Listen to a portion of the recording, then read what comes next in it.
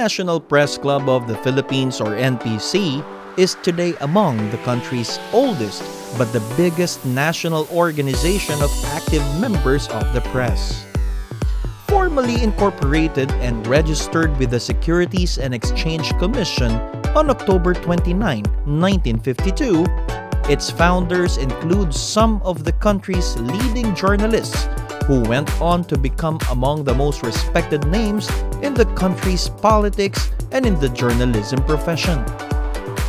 The NPC building's inauguration in December of 1955 was attended by no less than Philippine President Ramon Magsaysay.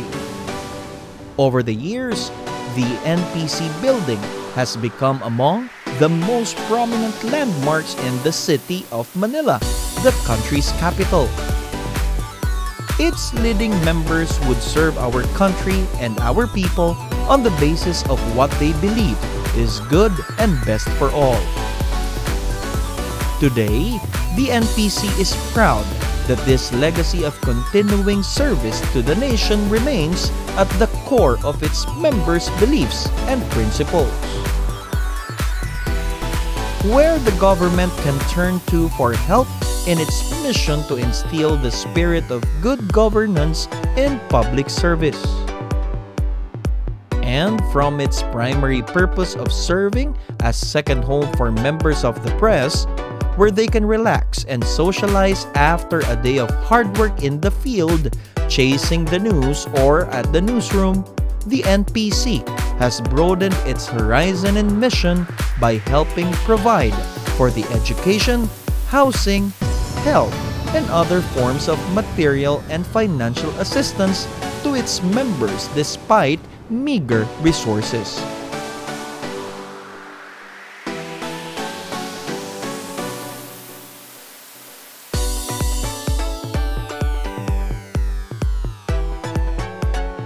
More importantly, the NPC remains the leading voice of the Philippine media in the fight for media rights and in upholding the people's right for a free but responsible press.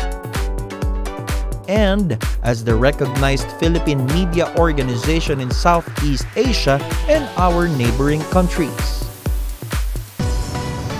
As the National Press Club enters its seventh decade of existence three years from now, it has set itself the goal of reaching out to other local and regional press clubs and organizations in the rest of the country. With everybody's help and with the NPC leading the way, having a Philippine media that is responsible and professional at all times and always striving for excellence is a goal that is indeed realizable and achievable. Mabuhay ang malayang pamamahayag, mabuhay ang National Press Club. Welcome to the Report to the Nation Media Forum of the National Press Club, where you get only the news and information that truly matters. Join us every week for discussion of the issues that affect our nation and our future. This program is a production of the National Press Club of the Philippines in partnership with the Strategic Communication and Information Service, Department of Environment and Natural Resources, Philippine Amusement and Gaming Corporation, Smart Philippines, and MX3.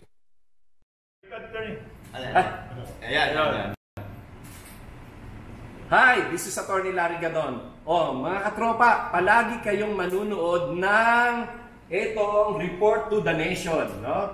Ito ay weekly uh, media forum ng National Press Club. At lahat talaga ng inyong mapapakinggan dito ay siguradong mga importante at mahalagang impormasyon. Maraming salamat. Ang mga nanunood ng Report to the Nation ay hindi bobo!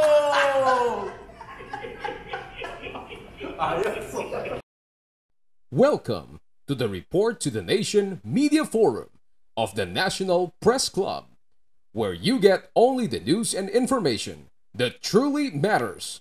Join us every week for discussion of the issues that affect our nation and our future.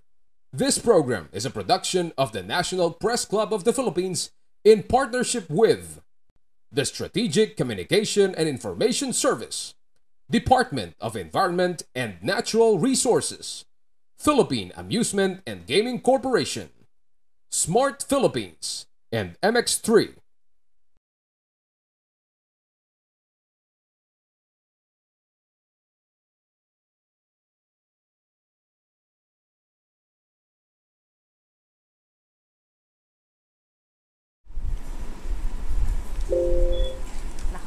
Okay, ah, magandang umaga mga kababayan at welcome to the Meet the Press Report to the Nation Media Forum ng National Press Club of the Philippines for our edition this coming ah, this today August 20, 2021. At ah, kasama ko po ngayon sa oh, natutuwa naman tayo, dadagdagan po ang ating panelist, ang aking Vice President si Tina Maralit at saka po siyempre si Director Joey Binancio, ang publisher po ng Police Files Tonight. And uh, for uh, today ay uh, magkabali hatiin natin uh, sa two segments ang atin pong uh, programa no. Uh, unang-una po siguro first segment. We're glad narito na po kasama natin sa ating programa na uh, via Zoom si Professor uh, Romel Banloy. Uh, siya po ay talaga pong isang anti-terrorism uh, expert at uh, consultant nga po ito ng ating National Defense uh, Establishment ano. At uh, the other side would be later on, much much later on, uh, Vice, ay makakasama natin si uh, anak kalusugan na uh, party list representative uh, Mike Defensor. And uh, before we proceed po, salamat din po pala kasama po natin si Ma'am Teresita Angsi ng Movement for the Restoration of Peace and uh, Order. At uh, by the way po, sila po ay pareho, sila ni Professor uh, Banloy ay parehas po silang awardee just recently. I don't know kung natuloy yung uh, awarding ng Association to Promote Philippines-China Understanding, no? Kasi August 6 yun eh. eh. That was the first day na uh, nagkaroon po tayo ng ECQ. But uh, congratulations po sa 10 awardees ng APPCU kasama po si Professor uh, Romel Banloy at po si Mama Teresita Angsi. At uh, dito po sa ating uh, studio, sa ating mga tanggapan sa National Press Club. May mga kasama na po tayo sa ating uh, mga kapatid sa hanap buhay. Si kapatid na Gina Mape ng DWWW, si kapatid na Rene Maliwat, Rene Maliwat ng DCRJ, tsaka uh, si ah uh, ano ano? Ayun, oh. Reynan. Si Reynan, oh. Uh, at uh, tayo po bali ay bumobroadcast ba, dinagdagan pa yung ating uh, online na ano ngayon. Yan, yung syempre, ating uh, online ano. Siyempre kasama din natin kakadating lang Pangulo ang ating oh. direktor din si Nats Taboy. Ng uh, Rimate. Ng Rimate. Oo. And so before we proceed, uh, again as I, I was mentioning, uh, we'll be dividing our program today edition today uh, into two parts. No? Una muna yung security concerns, particularly itong pagbagsak ng Afghanistan, Afghanistan. sa mga Taliban. Ano? Let's hear it from the expert. Ano ang kanyang uh, pananaw dito sa development na ito? Ano ang impact po nito? Hindi lamang po sa buong uh, Middle East or Central Asia, kundi maski dito po sa Pilipinas, dala naman itong mga Taliban. Yes, di ba? at saka meron sila supporters dito niyan. Oo, oh, meron, oo. Oh, oh. At, And uh, apart from that, yung mga kababayan natin, OFWs, di ba? Yes, oo. Oh. Displaced din dahil sa Na na-displaced. And, uh, uh, yun, si Prof, nandun na sa ano. Prof, uh, just give me another two minutes uh, for before we proceed with the formal uh, discussion. Ha? And then yun nga pong later part ay tungkol po sa mga kaganapan sa Kongreso at dyan po sa Quezon City. No? Ah, mukhang amoy politika na ron. Yes. Oo malaman po natin sa grupo. Intramuros. Oh, sa grupo ni Congressman uh, Mike Defensor. And with that, uh, again po, uh, siyempre, uh, we would like to, again, thanks yung pong ating mga partner stakeholders, yung ating po mga sponsors who have been with us through thick and thin. Wika nga, unahin po natin dito ang Philippine Amusement and Gaming Corporation, ang Smart Philippines, ang Strategic Information Service ng DENR, under uh, Yusek Benny Antiporda and of course ito pong MX3, MX3. no and I understand oh, kailangan, kailangan yung palakas ng resistensya oh, lalo oh, nga, oh. and I understand eh. I understand in the coming ano, weeks, baka po madagdagan pa ang ating sponsor dito sa ating programa. So, welcome po yan Yay! para po sa National Press Club. Salamat po. And sa yes, na ah. Ah, sa pagsisikap po natin, eh, 10,000 na po plus ang follower po ngayon ng National Press Club. Di ba? Yes. At dadami pa yan, sigurado Yes. sa mga Oo. darating na Oo. araw. And uh, finally, ay sino pong magsasabi na yung pong nagsasabing patay na po ang malayang pamamahayag sa Pilipinas, lalo na po sa print media, hindi po totoo yan. Sapagkat narito po ang latest edition ng Pahayagang Rimate. Katibayan.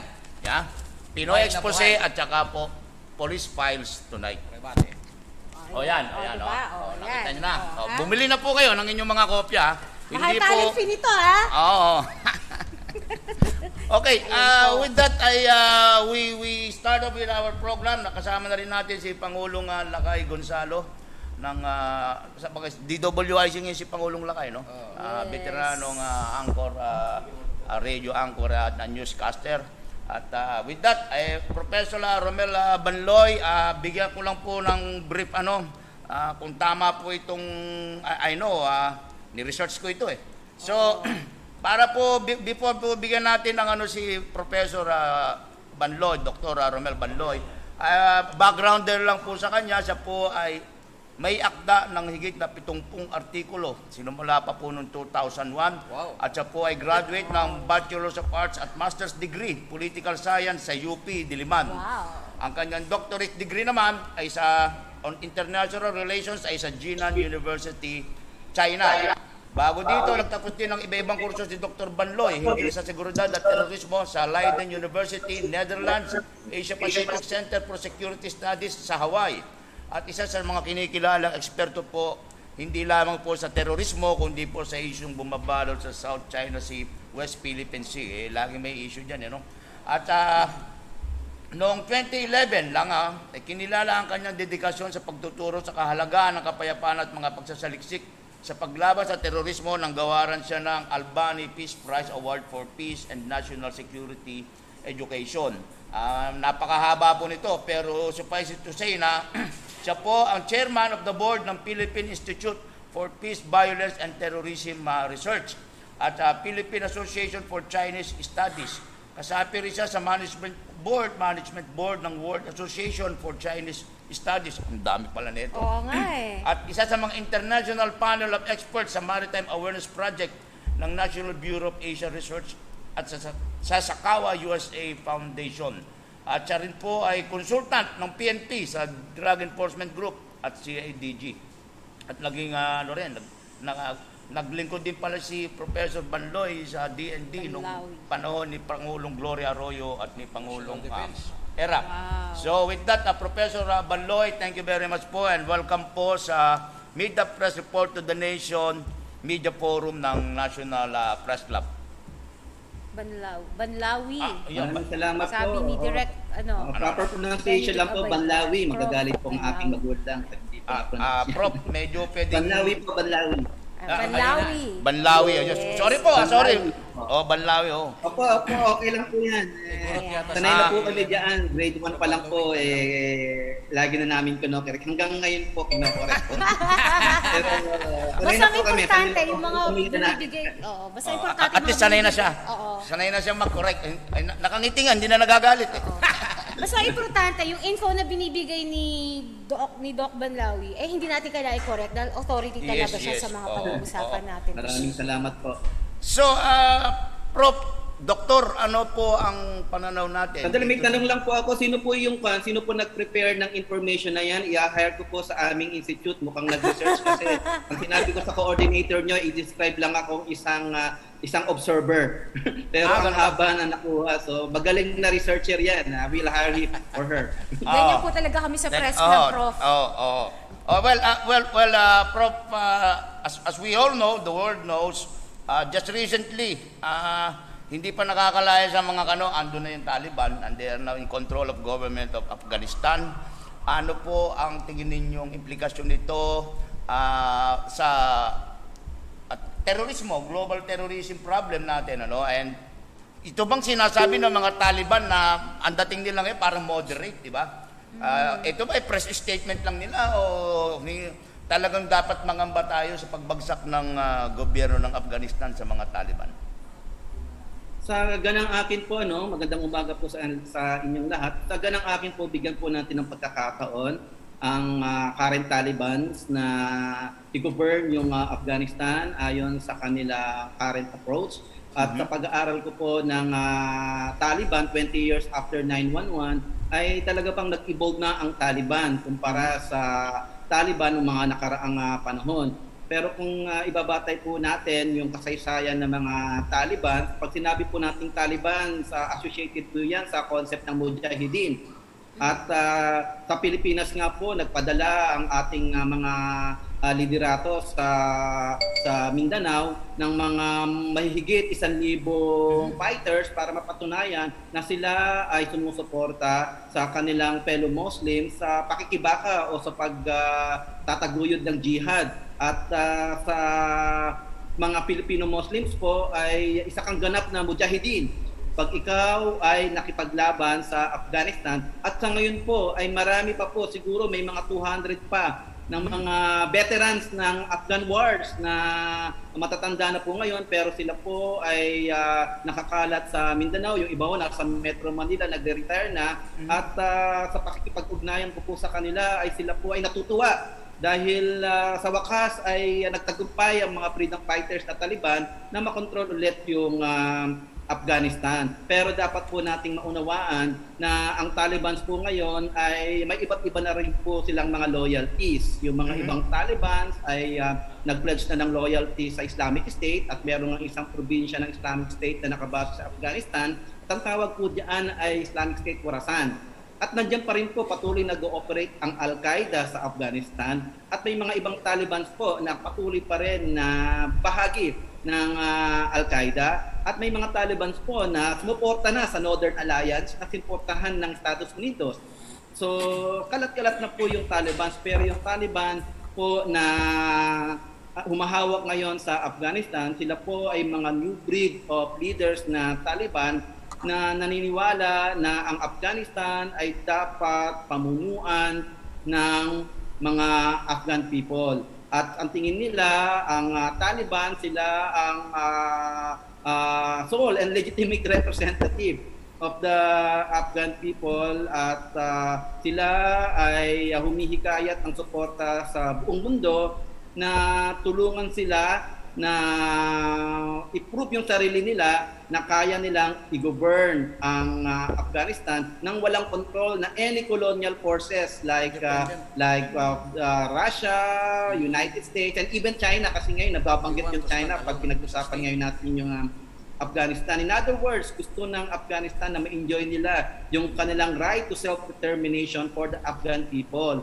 At ang ang ah, kinakabahala ng buong mundo ay yung image ng ah, Taliban na ini-embrace nila yung tinatawag na Islamic fundamentalism. Mhm. Islamic fundamentalism. So, yun ang kinakabahala ng buong mundo. Pero ngayon po, kung sa kung ah, titingnan natin yung sitwasyon sa Afghanistan, ang Afghanistan po ay talagang naging breeding ground ng international terrorism at isa pong malaking hamon sa Taliban government na equal yung mga international terrorist groups na patuloy na nag-ooperate sa Afghanistan. Kaya ang uh, ino-hope natin ay maging matagumpay ang Taliban government na ma-drive away ang Islamic State, ma-drive away ang ah, Al-Qaeda from Afghanistan kasi kung magpifail yung ah, Taliban government in driving away all these international terrorist groups, eh, at maging malaya yung mga Islamic State at Al-Qaeda operative na mag-operate ng Afghanistan, ay patuloy po na magbibigay ng um, ah, bantayan sa seguridad, hindi lamang ng buong mundo, kundi rin sa seguridad ng Pilipinas dahil ah, patuloy naman ang link ng ah, problema sa Afghanistan sa problema natin dito sa sa Pilipinas, especially sa Mindanao. Mindanao. Oh, yeah, uh, Prof, what you're saying is uh, kanina, sabi nyo, ang ang Taliban ay ang parang ano, no, parang titingnan mo parang nationalist or patriotic movement lang ito oh, na ang gusto lang din nila eh pamunuan namin mga Afghans yung aming sariling bansa, Oh, yes, di ba? Parang bayan, ganon. Ah, parang ang dating nila eh parang mga nationalist or patriotic Parang gusto movement. na nilang maging independent state eh. Yes. Mm. But the problem is, ah, yun nga, ah, meron ba silang nakikita ka na yung bang seriousness on the part of the Taliban na itong mga extremists na mga Muslim, no? Itong Al-Qaeda, itong mga ISIS, etc., etc. Eh, ito ba'y kokontrain nila, lalabanan nila, considering na kaya lang naman din sila lumaki because of their alliance with these uh, extremist groups. Burahin na nila ito sa kanilang lipunan. Oo, eh, ma- mo- kaya ba nilang gawin Malaking kwan talaga yan, malaking hamon sa Taliban yan, malaking dilema rin yan sa kanila kasi nakapaglaban sila laban sa kanilang mga dating ah, comrades, dating mga colleagues. Parang dilema po yan ng kwan eh, Moro Islamic ah, Freedom, ah, Moro Islamic Liberation Front. Aha. Ngayon na dahil sila na nasa gobyerno ng BARM, ay meron na silang obligasyon na i-maintain yung peace and security sa BARM region. Kaya ngayon ay ang MILF, kaya alulungkot ako sa akin nakikita, no, MILF fighters ano, fighting against their former comrades na ngayon ay associated sa Bangsamoro Islamic Freedom Fighter. They are fighting against uh, relatives and friends na associated with the Abu Sayyaf group. So ganyan po ang magiging kahihatnan ng ah, ng ah, Taliban po. So uh, dapat harapin po nila yung hamon na yan kasi kung di nila ma-address ang gusto yung mga yung problema na yan na nag-emanate from Islamic State and Al-Qaeda ay mahihirapan nilang mapatunayan na mahihinto na ang Afghanistan bilang ah, breeding ground ng international terrorism. Kaya mapa, napakabigat na responsibilidad niyan ng Taliban dahil ah, ah, kailangan nilang patunayan na sa buong mundo na sila ay nag-transform na at at the same time, kailangan din nilang labanan yung mga banta ng terorismo na ngayon ay pinamumunuan ng dati rin nilang mga kaibigan. So talagang uh, napakahirap na na pasanin yan ng Taliban government. Mm, ah, kasi nga, as we all know, ah, yung ayaw nilang pag-surrender noon kay Al-Qaeda at kay Osama bin Laden, ang dahilan kaya sila sinalakay ng mga Amerikano, di ba? Noong ah, 2001. Ah, October 7, Opo. na if my research is correct, dahil ayaw daw nilang i-turn over si Osama bin Laden tsaka yung Al-Qaeda. So, in-invade sila. And now, ah, all throughout naman na natanggal sila sa pwesto, eh, kung yun nga, di ba, mag, magkaka, kumbaga, BFF pa rin sila nitong Al-Qaeda at saka mga ISIS. One of the reasons kaya sila uh, nandiyan at nagtagumpay ah, ngayon. Ah, do you think naman, Prof, sakaling madismaya ang ah, ang international community lalo na itong mga kano kasi siyempre bugbog na, natalo sila rito eh. Ah, do you think yung babalik yung ano intervention ng mga western powers particularly yung Amerika pag sinabing oh hindi naman nyo hindi naman yun nilabanan ng terorismo. Kasi pinag mukhang pinagbigyan ni Biden yan ito eh. Oo nga. Ah, anong tingin mo doon, Prof? Well, ang minomonitor kong uh, mga developments ngayon ay yung uh, pangako ng Estados Unidos na ipagpapatuloy niya ang pagsusuporta sa mga Afghan military forces na na ituloy yung uh, fight nila to establish a democratic regime in Afghanistan at yung Northern Alliance ngayon na kinabubuan ng iba't ibang grupo na dating sinuportahan ng Estados Unidos ay nagkakaroon ng uh, realignment ngayon at uh, reorganization in order to mount rebellion to the Taliban uh, government.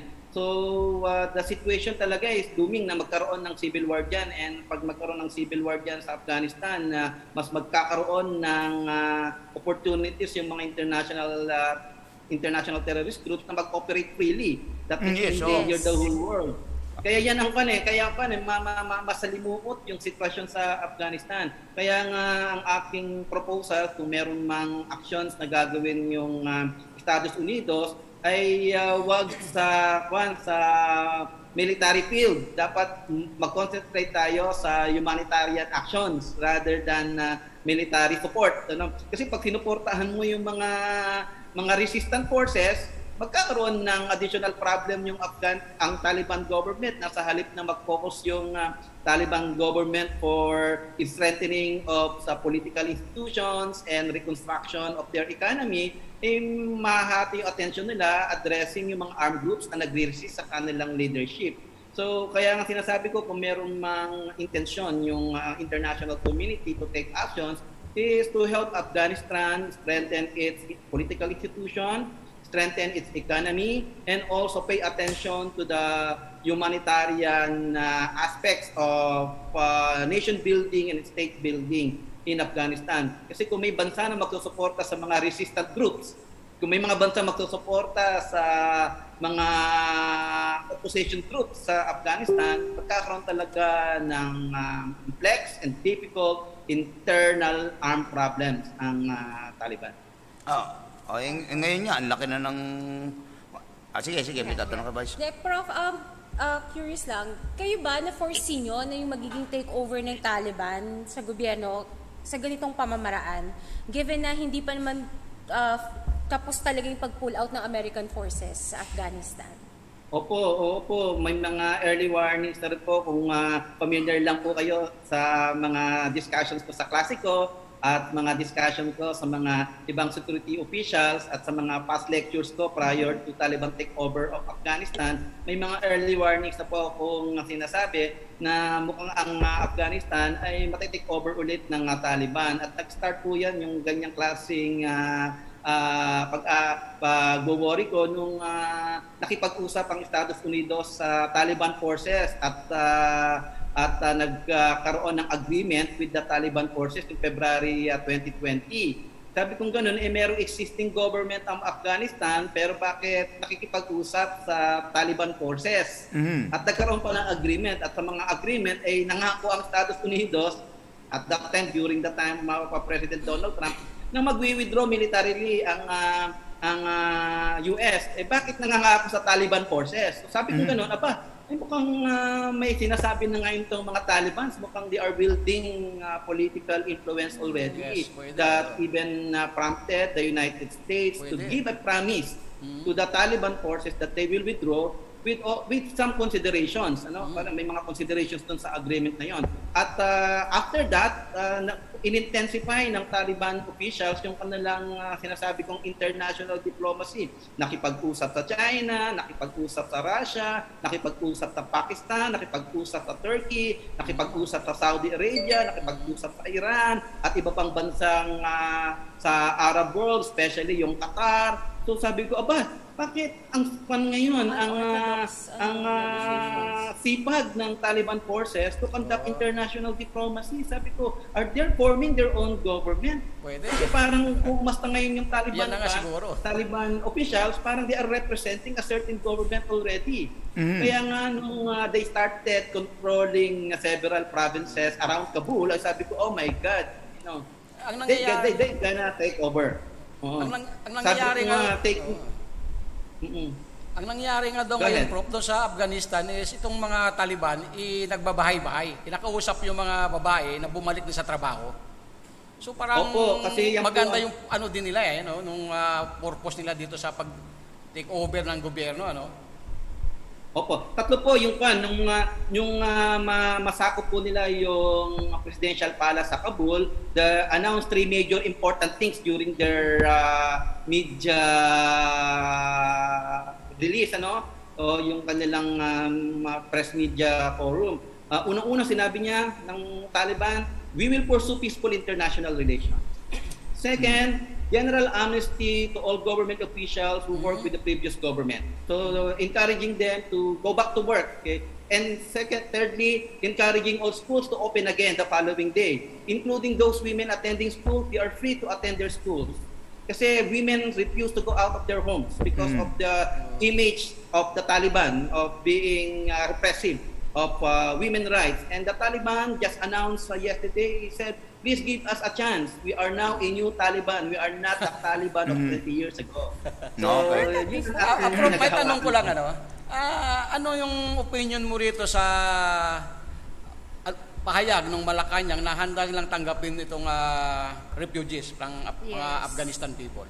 Okay ba ito Opo, kasi ang Pilipinas po, meron po tayong long-standing reputations na very open sa mga refugees na na ah, nangangailangan ng tulong. Nag-start yan si President Manuel Quezon, diba, nung nagkaroon ng ah, Holocaust, yung mga Yes. Jew po, eh, mahigit isang libong Jew yung ah, tinanggap natin dito sa Pilipinas. Ang tawag nga natin sa mga Jew ay mga kon eh, ah, ah, Manila nurse, Manila nurse. Ah, at kaya malaki ang utang loob sa atin ng ah, mga Jewish people. Kaya ako ngayon po ay napaka-close ng relations ko sa mga kan sa Israeli embassy. Kasi nga tinatanaw po nilang utang na loob yun. Pati ang Vietnam po, ang Vietnam, kaya maganda ang ating relasyon sa Vietnam kahit na meron din po tayong alitan sa teritoryo sa sa Spratleys, ay tinatanaw po nilang utang na loob dahil inakomodate po natin yung mga ah, Vietnamese refugees at kung nagkaroon po ng problema ng Rohingya, ang Pilipinas po ang kauna-unang bansa nag-offer ng ating bansa na free ang mga Rohingya na pumasok sa Pilipinas at ah, consistent po ang ating position diyan. Ah, even during the time of the diaspora of the Palestinian people, ano? Kaya kung makikita nyo sa FEU, sa UE, sa iba't ibang university sa Pilipinas, ang daming mga Palestinian na nag-aaral sa Pilipinas dahil nga open po tayo sa refugees, napaka-refugee friendly po ng bansa natin. At ah, kaya po sinabi, sinasabi ng ating pamahalaan na kung yung mga Afghans ay gusto nilang ah, pumunta sa Pilipinas, they are free to take refugee status in the Philippines. Kaya nga ang DOJ ngayon ay naghahanda sila ah, para tanggapin kung may mga Afghans na gustong ah, ah, pumasok sa Pilipinas to seek refugee ah, protection.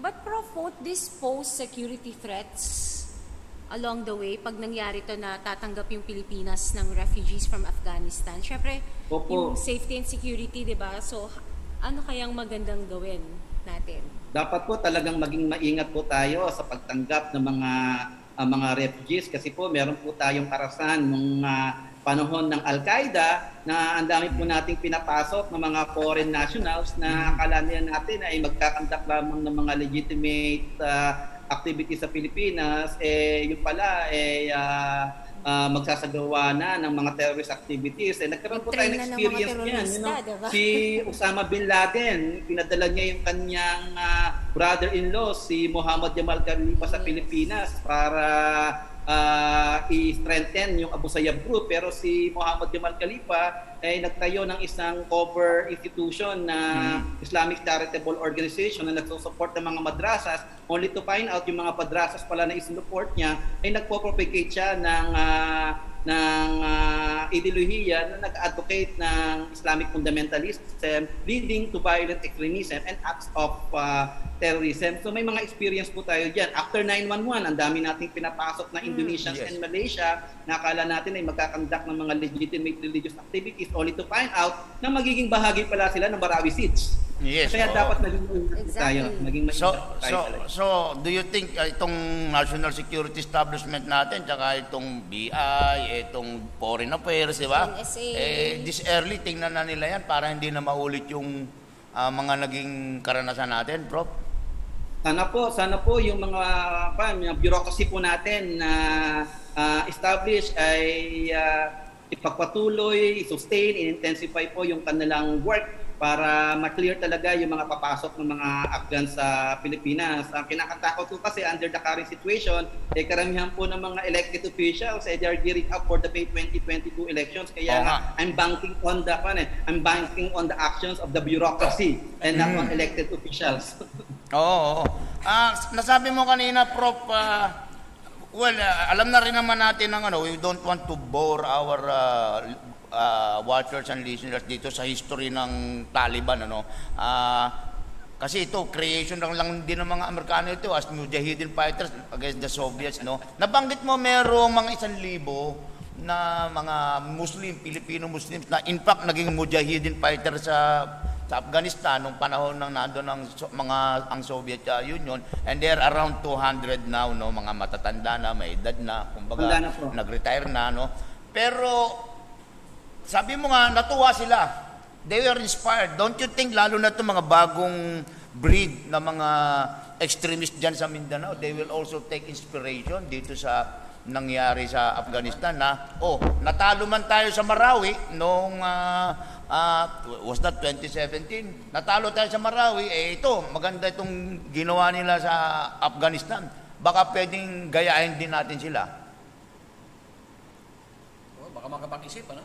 oo Po, ah, alam niyo po, more than 20 years ko na pong ginagawa yung ganitong klaseng pananaliksik at ganitong klaseng pag-aaral. At sa more than 20 years po na experiences ko, ay nakadevelop na ako ng tinatawag na gut feeling ba? Pag may nakikita kong isang incident or may na-observe ako something na kahit na hindi pa strongly validated, wala pang mga solid information, ay nagkakaroon ako ng gut feeling.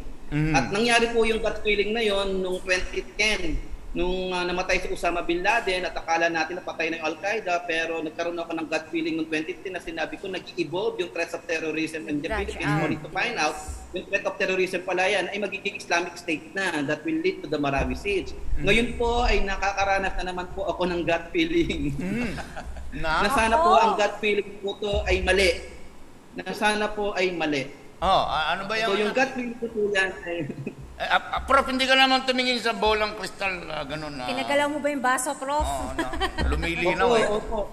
Ano po Kaya ang po, gut kaya natin, yung prof? gut feeling na yan, kaya ako po ngayon ay patuloy na pag-ugnayan sa mga kaibigan natin sa AFP, kaibigan natin sa PNP, at sa mga, hindi lang po AFP and PNP, patuloy din po ang pakipag-ugnayan ko sa mga security, professionals, ano? Yung itong mga, ito, ito na-discover ko sa ah, current work ko ngayon, ano, for the past five years, ano, kasi mas na, mas naging close ako sa mga, sa mga private security professionals, na ang pagsisecure po ng bansa natin ay hindi lamang nakasalalay sa PNP at AFP, nakasalalay din po yan sa kalakasan ng mga private security professionals. Yan po yung mga nagsisecure ng mga mga infrastructure natin, yung mga malls natin, yung mga ports natin, yung mga ah, movie theaters natin, mga transportation pa na, yung mga security managers, na napakahalaga ng papel nila. Dapat ma-harness po natin yung kanilang involvement. At sa ngayon po, ay sinashare ko po sa kanila yung aking mga gut feeling para patunayan po na ang gut feeling ko po ay mali. Ayan, oh. So, what, what- ano ba itong mga gut feel mo? That uh, we should all, kasi yung Siguro, ang bab- mga- yan ang banggit mo, it concerns everyone. Every Filipino concerned. Opo, opo, opo. Ang gut feel ko po nung ini-examine ko po yung mga social media reactions ng mga militant worldwide and I paid attention sa mga reactions na nag-emanate sa Pilipinas ay talaga pong overwhelming yung kanilang ah, ah, jubilation. Aha, jubilation. Yeah. Oo, kasi sa triumph of the Mujahideen at the triumph of Jihad, so they are congratulating the the the the, the Taliban, even yung mga mainstream uh, officials na and uh, personalities na walang kinalaman sa mga armed groups pero uh, uh, alam nila yung nangyayari sa Afghanistan eh sumasama rin sa victory. So meron po tayo ako tinatawag na avalanche of, of celebrations emanating from social media activities and that kind of uh, celebration is also happening in the Philippines. And then ito po, ito sasabihin ko sa na National Press Club ko lang po sasabihin openly ano na ikinababahala ko po sa akin pong pag-aaral ng mga social media activities, meron po ako na-encounter na isang logo. Na isang logo na pinopromote po nila at ang logo na po ay ah, ah, apparently nanggaling sa Pilipinas at ang uh, dinidescribe ang logo na po na to ay Islamic Islamic Emirates of the Philippines. Oh my goodness. Eh, diba yan po ang ginagamit na pangalan Yes, ng ng Taliban yun. Islamic Emirates of Afghanistan. Oo. Yes. Kaya nga, hindi, ko, hindi pa humaliwanag para sa akin kung ang Islamic Emirates of the Philippines ay associated with ISIS, associated with Al-Qaeda, or associated with the Taliban, or associated with something else. I don't know yet for the moment. Pero nung makita ko po yung logo na yon ay nagbigay ako ng gut feeling, my God, is this an emerging threat? Ah, hindi, hindi ba ang tumasang code. balahibo mo? Ah, prof, ah, baka may kopya ka dyan. You- baka may kopya ka dyan ng ano, you can share it now dito sa ating Yung Zoom ah, meeting, yung logo. kasi napaka-raw pa ro, napaka-raw po, po ng information. So Mhm. ngayon po ay na-handle po po namin very cautiously yan. At ah, ako po ay uh, sinishare ko po yan sa mga rightful authorities para magkaroon po ng tinatawag natin na preventive ah, Yes, actions ang ating mga Dapat kaibigan. talaga mas proactive than reactive tayo. So, so ang nakikita mo, Prof, ay sabi mo nga, ah, you're, you're of course monitoring itong mga website ng mga lahat ng mga global terrorist movement na ito. There was an overwhelming jubilation and there was an Opo. avalanche of celebrations. And Opo. sila, itong mga extremist lahat ito, ah, ito yung mga nangangarap, magkaroon kami ng sariling bansa, either ito yung ISIS o Emirate or whatever. Eh, so, it's true na nagkaroon ng, nag-create ng inspirasyon itong tagumpay ng Taliban. Ah, especially biro ang kalaban mo, kano, tinalo mo, no? baka- So, ang ang ang gut feel mo ay meron ka nang naengkwentro na meron nang nagpo-promote ng Islamic Emirate of the Philippines. Opo, opo. So, Prof, Pero at the same yeah. time, no, dapat maintindihan din po natin na bagamat mayroong ganyang klaseng celebration, meron din pong global anxieties. Okay? So, global anxieties and even cynicism coming from, uh, of course, the Western world, lalo, lalo na sa Europe, lalo na sa sa United States, sa Canada, sa Australia, yung mga democratic countries, may mga anxieties din po sila. At mga human rights organizations, mga women's organizations, they're also articulating their serious concern that the, the Talib, because of the Taliban's previous practice. So, uh, so while we see jubilation on the other side, we also see articulation of anxieties, concerns regarding uh, uh, human rights actions of uh, uh, the Taliban. So mixed talaga ang feelings ng buong mundo sa naging uh, uh, sitwasyon sa Afghanistan. So hindi ko po sinis- sinisingle out yung celebration, pero dapat din po nating ma-stress na meron din pong global anxieties. Global anxieties. Yan, yan yung iniisip ko dito sa grupo ng mga MILF sa MNLF. Baka mabuhay kasi nabigo sila dito sa niya, sinusulong na ano sa kanila dapat, di ba? Oo. Yun Oo. ang iniisip ko, eh, baka mabuhay na naman yung dugo nila eh. Saka ihintay nung... Draw ano, inspiration from what happened in And, and, and, Afghanistan. and the, ah, ah, do you think, Gusto ko ah, pong kwan, gusto ko pong sundan. Gusto ko pong sundan yung pamabuhay yung dugo. Ang kinakatakot ko po, hindi po yung dugo ng matatanda. Kasi yung mga matatanda ay talagang retired na po sila, gusto nila magpahinga. Ang kinakatakot ko po dito, dugo ng mga mapusok na mga bata. yes, yes, yun nga. O nga po. Prof, um, babalikan ko lang po yung nabanggit nyo kanina kasi nabanggit nyo na you've been observing mga social media activities, di ba? At marami kayo napapansin doon. On a related note, di ba yung ating um, anti-terror law, isa yan sa mga provisions na highly contested, yung giving our security bodies the authority sa pagmamatsyag sa mga social media ng mga suspected terrorists. Sa mga nabanggit mo, dapat ba sa ngayon, iisang tabi muna yon at kasi makakatulong talaga para ma-monitor yung galaw ng mga sinasabi nating threats Ah, yeah. online. Ah, di ba? ah, ku- kumbaga, Yeah, kumbaga, ako- Prof, ah, do you think the anti-terror law right now is sufficient to address this emerging threat? Alam niyo po, napakabigat din po na desisyon na ginawa ko na suportahan ang passage and signing and even implementation of Anti-Terrorism Law of 2020. Kasi po ang dami ko pong kaibigan na nagalit sa akin. Marami rin po akong mga close na colleagues na nagalit sa akin dahil nga sa Anti-Terrorism Law. Pero ngayon po, masasabi ko po na ito na ang panahon para mapatunayan na na magagamit natin ang anti-terrorism law for, pre- for prevention. Ano po yung prevention? Kasi halimbawa, uh, nag-post ako sa isang social media account at sinasabi ko na tinusuportahan ko ang Islamic State Mhm, at uh, tinasang-ayunan ko ang kanyang intensyon na magsagawa ng suicide bombing sa Pilipinas.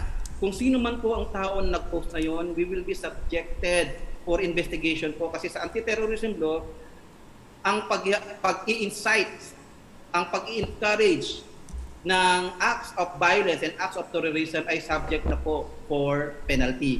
Yan po ang pinapenalize under in. Kaya hindi na po hihintayin na mag magbomba ka o mag-suicide terrorism ka. Have Pag, from pag nakitaan ka ng probable cause na ikaw ay involved sa incitement and encouraging of terrorism, ikaw po ay huhulihin for preventive action. So, yan po ang pan, purpose ng preventive custody na para ma, ma, mapahinto ka kung ano man yung masamang balak na ginagawa mo at kung bakit mo, ano ang buong konteksto kung bakit ka nagpapakalat ng ganyang klaseng posting. So para ma-preempt yung mga ibang tao na magsagawa noon at ah, ano ang ah, nag-motivate sa iyo para isagawa yan. So iimbestigahan yan. So lahat po ng taong involved sa buong proseso na to ay ahabulin ng batas para mapigilan ang anumang actual na aksyon na magsasagawa ng terorismo. Yun po ang pinaka-intensyon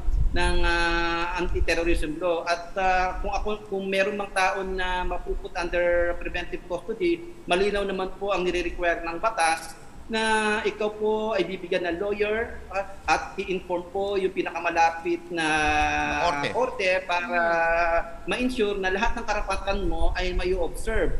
Kaya ang mahalagang papel dito ng Commission on Human Rights na dapat every step of the way ay nandoon sila para ma-ensure yung protection ng human rights. Kasi hindi po perfect yung ah, police institutions natin worldwide kahit ano pong police institutions. Kaya napakahalaga yung papel ng mga watchdogs para ma-ensure na yung human rights ay talagang mapoprotect in the implementation of anti-terrorism law. At para sa akin ang anti-terrorism law of 2020 ay mas lalong ah, lumalakas ang kanyang kahalagahan ngayon na tayo ay pumapasok at kumakaharap sa isang banta na evolving, sa isang banta na emerging, and at the same time, isang banta na persistent. Kaya nga combination eh, persistent and emerging and evolving threats of terrorism in the Philippines. At yun po ang patuloy na pinag-aaralan ko po sa ngayon.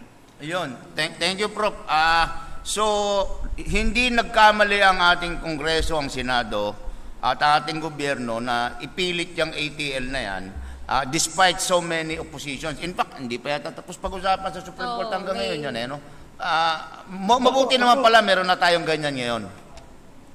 At maganda rin po na may opposition sa ating anti-terrorism Oo. law para po ma-compel yung ating law enforcement authorities na patunayan na hindi sila lalabag sa karapatang pantao.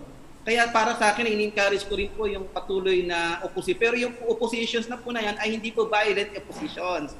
Peaceful and Yes, constructive oo. oppositions.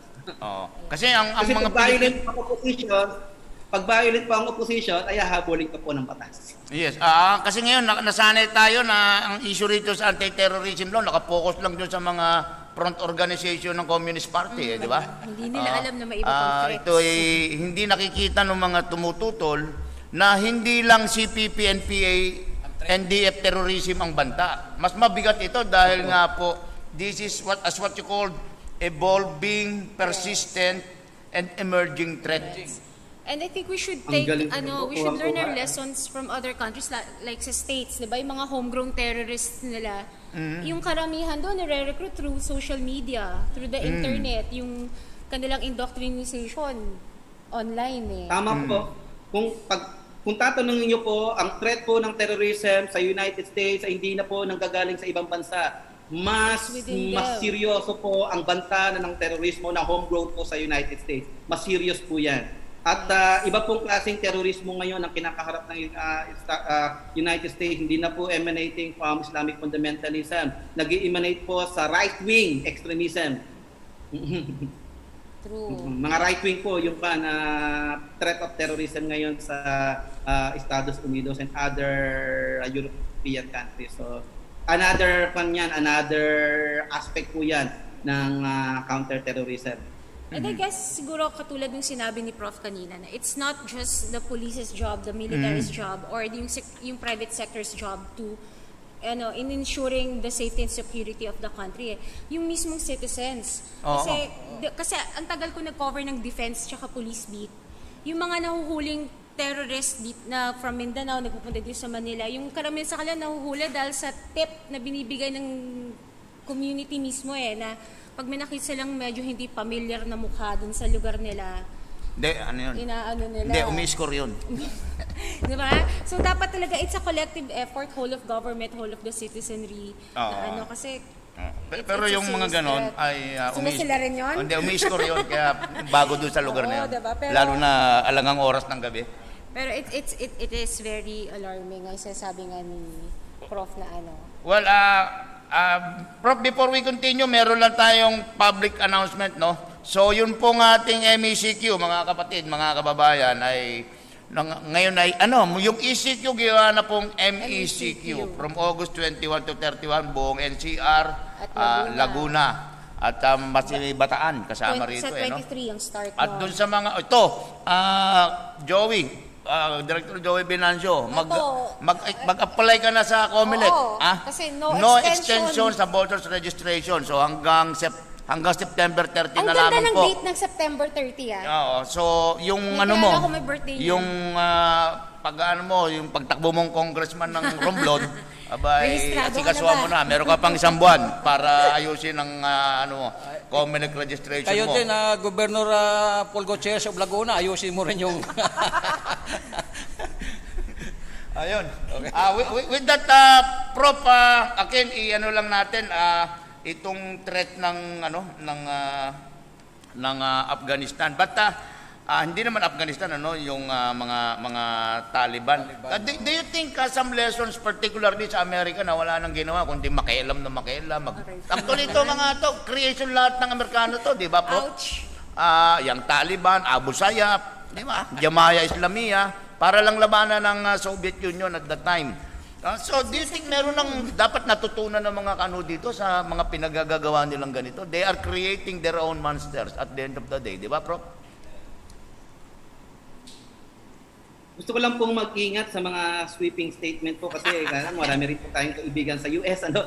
Ah, ah, bigyan po natin ng, kwan, ng proper historical explanation kung bakit na nangyari yung current situation ngayon. Tama Okay. po. Tama po na may kinalaman ang Estados Unidos sa pag-organize ng mga Taliban to, to, to fight the Soviet forces kasi Cold War po yan eh. Gusto Yes, nila oo. na i-drive away yung former Soviet Union kaya sinuportahan ng Estados Unidos yung mga Taliban para i-continue yung kanilang uh, liberation na struggle against the Soviet Union. Eh, gumawa pa nga si Sil- Sylvester Stallone ng movie dyan, yung Yes, Rambo oo. 3. Oo, Panoodin Rambo. niyo po yung Rambo 3. Eh, Oo. lately po, pinanood ko yung Rambo 3. Ang dami pong mga political messages po doon na nag-resonate sa current situation. So panoodin niyo po Rambo 3. So may kinalaman talaga ang Estados Unidos sa pag-organize ng mga Taliban to drive away the Soviet Union. Pero nung namuno na po yung mga Taliban, napasukan po ang Taliban ng isang leader, si Osama Bin Laden, na tinayo po yung Al-Qaeda na ginawang base yung Afghanistan. At ah, ito po pala si Osama Bin Laden, eh meron siyang different agenda and influence the Taliban to fight uh, against the United States. Kaya yung US din, nakita nila ba, ako ang nag-arma sa inyo, bakit ngayon eh, sinusuway mo yung gusto pong mangyari sa... Kaya yun po, nagkaroon po ng ah, away ang ah, Estados Unidos at yung Al-Qaeda at na-involve po yan yung Taliban. Kasi po yung mga pwersa po ng Taliban ay sinuportahan ni Osama Bin Laden kasi mayamang tao yan eh. Yes, Nagaling yes, sa oo. mayamang pamilya sa Saudi Arabia. Mm. Sinumportahan, inarmasan, kaya nag-develop din ng loyalty ang mga Taliban kay ah, Osama Bin Laden, particularly yung Al-Qaeda. So, uh, yan nga, kaya nga tayo may Abu Sayyaf group eh, kasi isa sa mga Afghan fighter during that time ay si Ab- Abdul Rasul Sayyaf. Napakagaling po na kanyan na fighter yan at siya po isa sa mga nakipaglaban during the Afghan War to drive away the Soviet. So, yun ang nangyari. Ah, nagkaroon ng ah, away ang Al-Qaeda at ang US at tinarget ngayon ng Al-Qaeda ang Estados Unidos that resulted in September 11, 2001 na i-commemorate mo natin yung 20 years niyan, yung September. Kaya nga ako, eh, diba, nap- napaka yung landmark event, eh, napaka ah, milestone talaga dahil nga 20 years ago, they ousted the Taliban and 20 years after, the Taliban started back. so, yan po ang dynamics po yan. ah, dynamics Yun, yun, ang, yun ang nangyari doon. Ano? 20 years ago, tinanggal nila ang Taliban. 20 years later, Taliban naman ang nag-ano- Nagtanggal sa kanila. Nagtanggal sa mga sa mga Amer- sa mga Amerikano. Ah, but ah, Ang ngayon, Amerikano po ay nag-withdraw. Nag-withdraw. y- yes, oh. Hindi, hindi kasi prof, ganun din yun eh. Kasi ganun din yun. As you mentioned, since last year, nag-aantay na lang ang Taliban eh. Kasi sabi mo nga, February 2020, nakipagkasundo na sa Trump, aalis kami dyan eh. So it's just a matter of time na makakabalik ang mga Taliban. At ang Taliban ngayon, Prof, ang isang worry is one of the most uh, armed to the teeth, di ba? Na gobyerno dahil sa dami ng iniwang military Armas material at hardware ng mga Amerikano doon. British, and even the British. ang, ang, ang isang worry, ah, kung ipagpapatuloy ng mga Western powers yung kanilang sanctions sa Afghanistan because they don't like the Taliban government, no? That they don't want the Taliban government to succeed on behalf of the Afghan people. Eh, hindi kaya maburyong itong mga Taliban sabihin, ayaw nyo lang din kaming umasenso. Gusto nyo, ganito lang din kami. Remember what they did to Cuba. Hanggang ngayon, meron pang economic sanction ng Amerika, di ba? Ah, ang, ang maisip kaya ng mga Taliban na, sige, ayaw nyo kami mag-develop on our own. Eh, mag-export na lang kami ng terorismo. Total, ang dami naming armas dito. We, will, uh, current we, will uh, the Taliban push to the corner, wika nga eh. Yun ang gawing rekurso. Yan nga po yung current discussions ko sa mga American friends ko at sa mga friends ko na supporting the uh, American position na to think again na dapat magkaroon sila ng rethinking Oo, and uh, bitawan na nila yung old thinking nila about the Taliban and give the Taliban a chance. Yan, yung rethinking na po yan, yan po ang ginagawa ng China ngayon eh. China is now giving uh, the Taliban a chance. Although yung distrust ng China against the Taliban very high kasi they suspected Taliban to be responsible for agitating the Uyghur people in Xinjiang to mount a separatist cause sa sa Xinjiang province. Pero uh, China is giving the Taliban a chance to govern Afghanistan. Oo. Oo, so sa halip na maging adversarial yung China, ay binibigyan niya ng chance of the Taliban people to govern themselves and uh, promise to help them in the process. Okay, in the process. Uh, basta wag lang magiging uh, uh, uh, deliberate supporter ng uh, international terrorist activities ang uh, Taliban.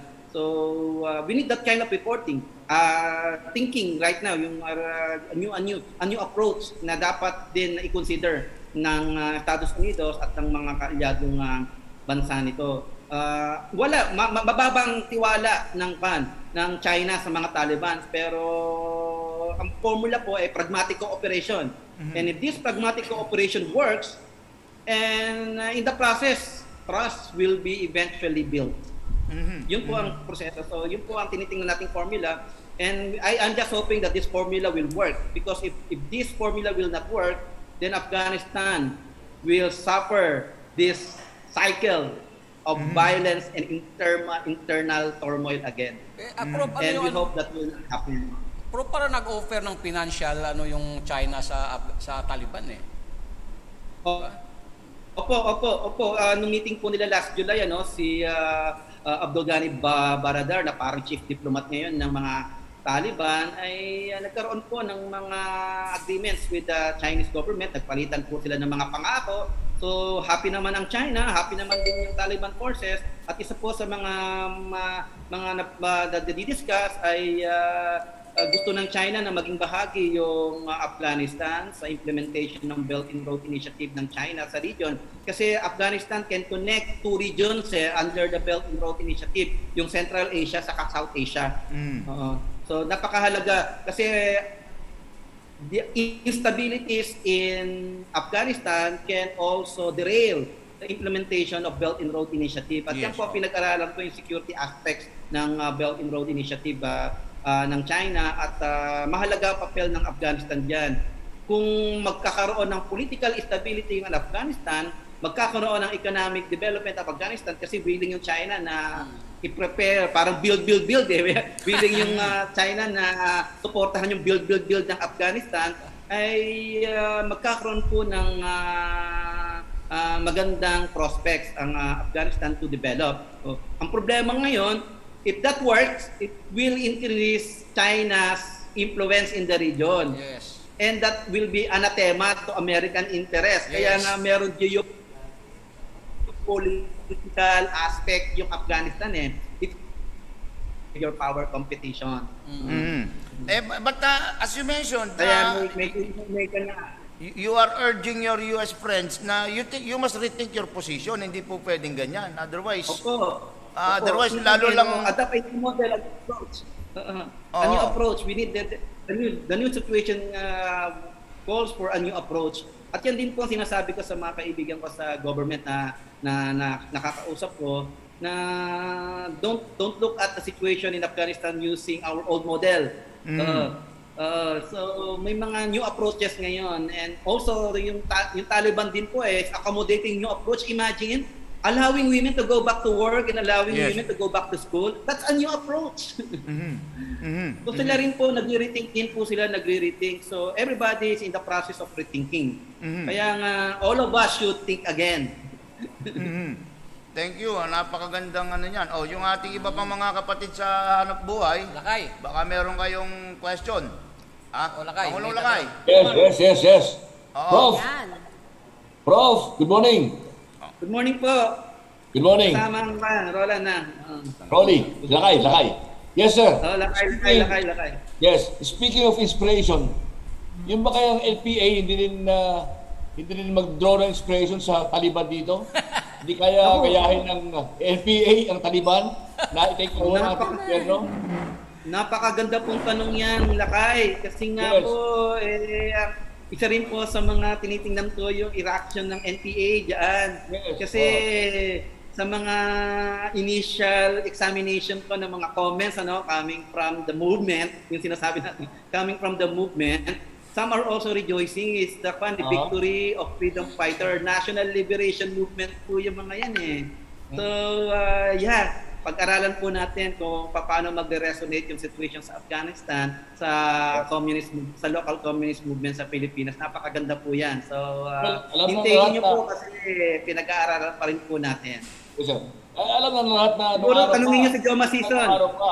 ang gusto ng NPA mag-take over sa ating gobyerno, hindi ba? So, anong meron ng Taliban na nawala sa NPA? Anong meron ng Taliban? Ay. Oo, mahihirapan po ngayon yung pan, yung ating ah, New People's Army. Kasi ang Taliban po experiencing what we call the failing state eh. Eh ang Oo. state naman natin, we are not a failed state. Eh. Established state po tayo, working po yung mga, mga political institutions natin.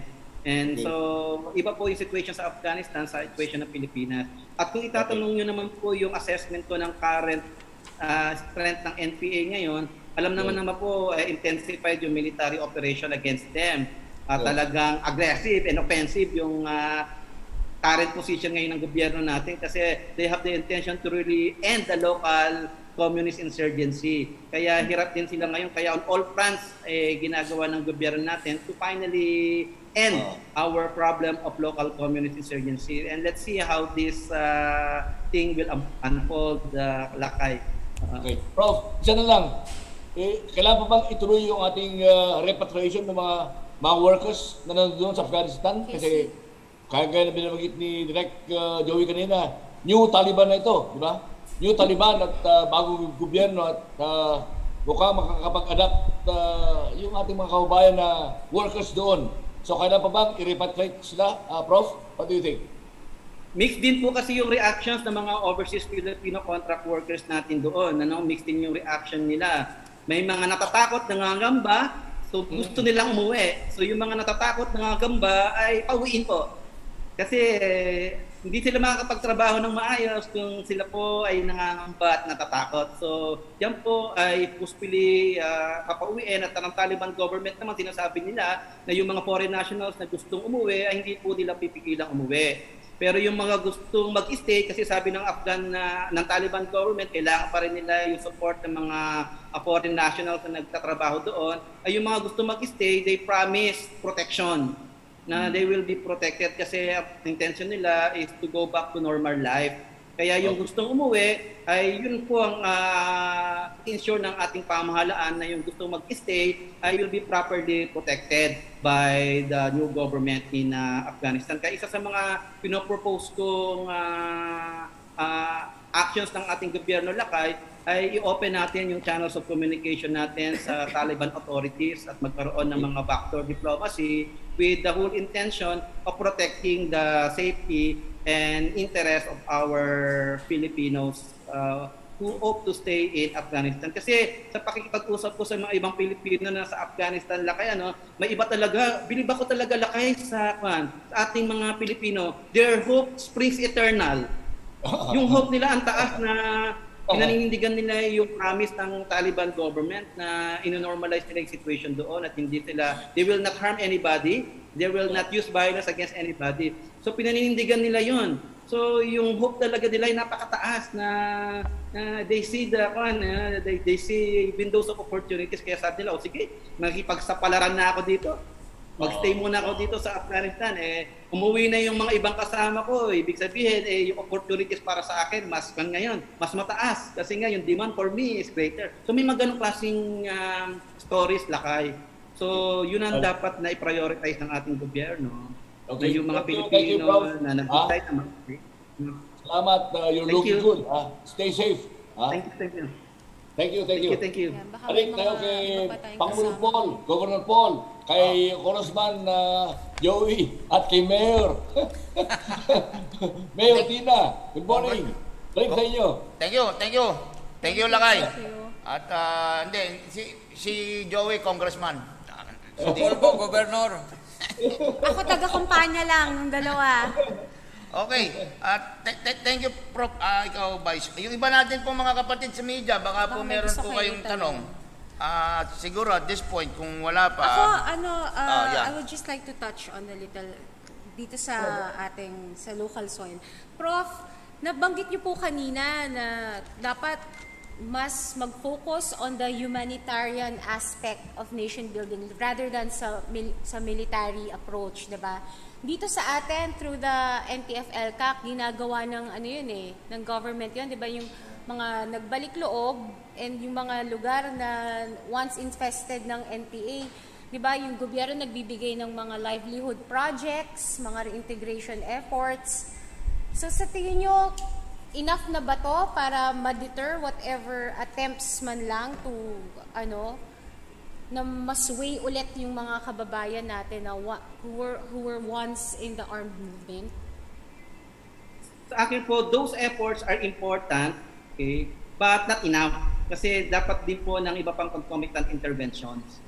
Kasi, and also sustainability. Kasi isa sa mga nakita kong ah, limitations natin when it comes to the uh, rebel return is yung sustainability ng actions. Kasi pag di po na-sustain yung kanilang ah, ah, support to have their life back again, especially those uh, personalities who um, who turn away from violent activities, eh dapat po masustain po kasi pag, pag hindi masustain yan, ay babalik po yan sa, sarili, sa, sa gawain na mas familiar po sila. Kaya dapat po masustain para ma-establish po yung habit na there is a peace dividend for them. Mm. Na ha, ah, living peacefully is more beneficial than living violently. Yun po dapat na ma- ma-establish po natin. Na ma-realize nila na living a peaceful life is more beneficial than joining violent activities. Tama naman. Yes. Ah, Prof, by the way, ah, kasi ito namang on the other hand, itong issue ng yung kasing NTF LCAC, focus lang ito sa CPP, NPA, NDF, di ba? Ah, on the other hand, ah, have you also ah, gave a briefing other than from our ah, mga security officials dito sa mga official ng BARM? Because they will be Opo, the opo. most ah, affected, di ba, nitong development sa Afghanistan. Yung effort nila to build, Opo. rebuild BARM through the government. Opo, mer Opo. Meron po silang sariling projects, meron po sariling initiatives yung BARM under the leadership of uh, of uh, Chief Minister Murad ano meron din po siyang uh, sila pong initiative may mga may mga counter radicalization and deradicalization activities sila may mga rehabilitation activities. Marami po. At meron din po sila mga military activities. Uh, to address po yung military threats sa BARM region ang uh, MILF po ay nakikipagtulungan na sa Armed Forces of the Philippines. They are now having these joint operations yung tinatawag na Task Force Itihad. Uh, you'll see that uh, former MILF fighters fighting the government are now fighting with the government to run after uh, people associated with the Bangsamoro Islamic Freedom Fighters and other threat groups like the remnants of the Ansar Khalifa Philippines and even remnants of the Mauti group. Now being headed by uh, Abu Sakaria, the nephew of former vice chairman uh, uh, for military affairs ng MILF, si uh, Min- Minbantas. So, yun, may mga remnants na po ngayon ng Mauti group na aktibo. At sa, sa Central Mindanao po, may bagong grupo ngayon tayo na minomonitor na aktibo, yung Hasan Salahuddin group. So you think ito nangyayari sa BARM siguro on the other hand baka dito makakuha ng aral ang mga Taliban, di ba?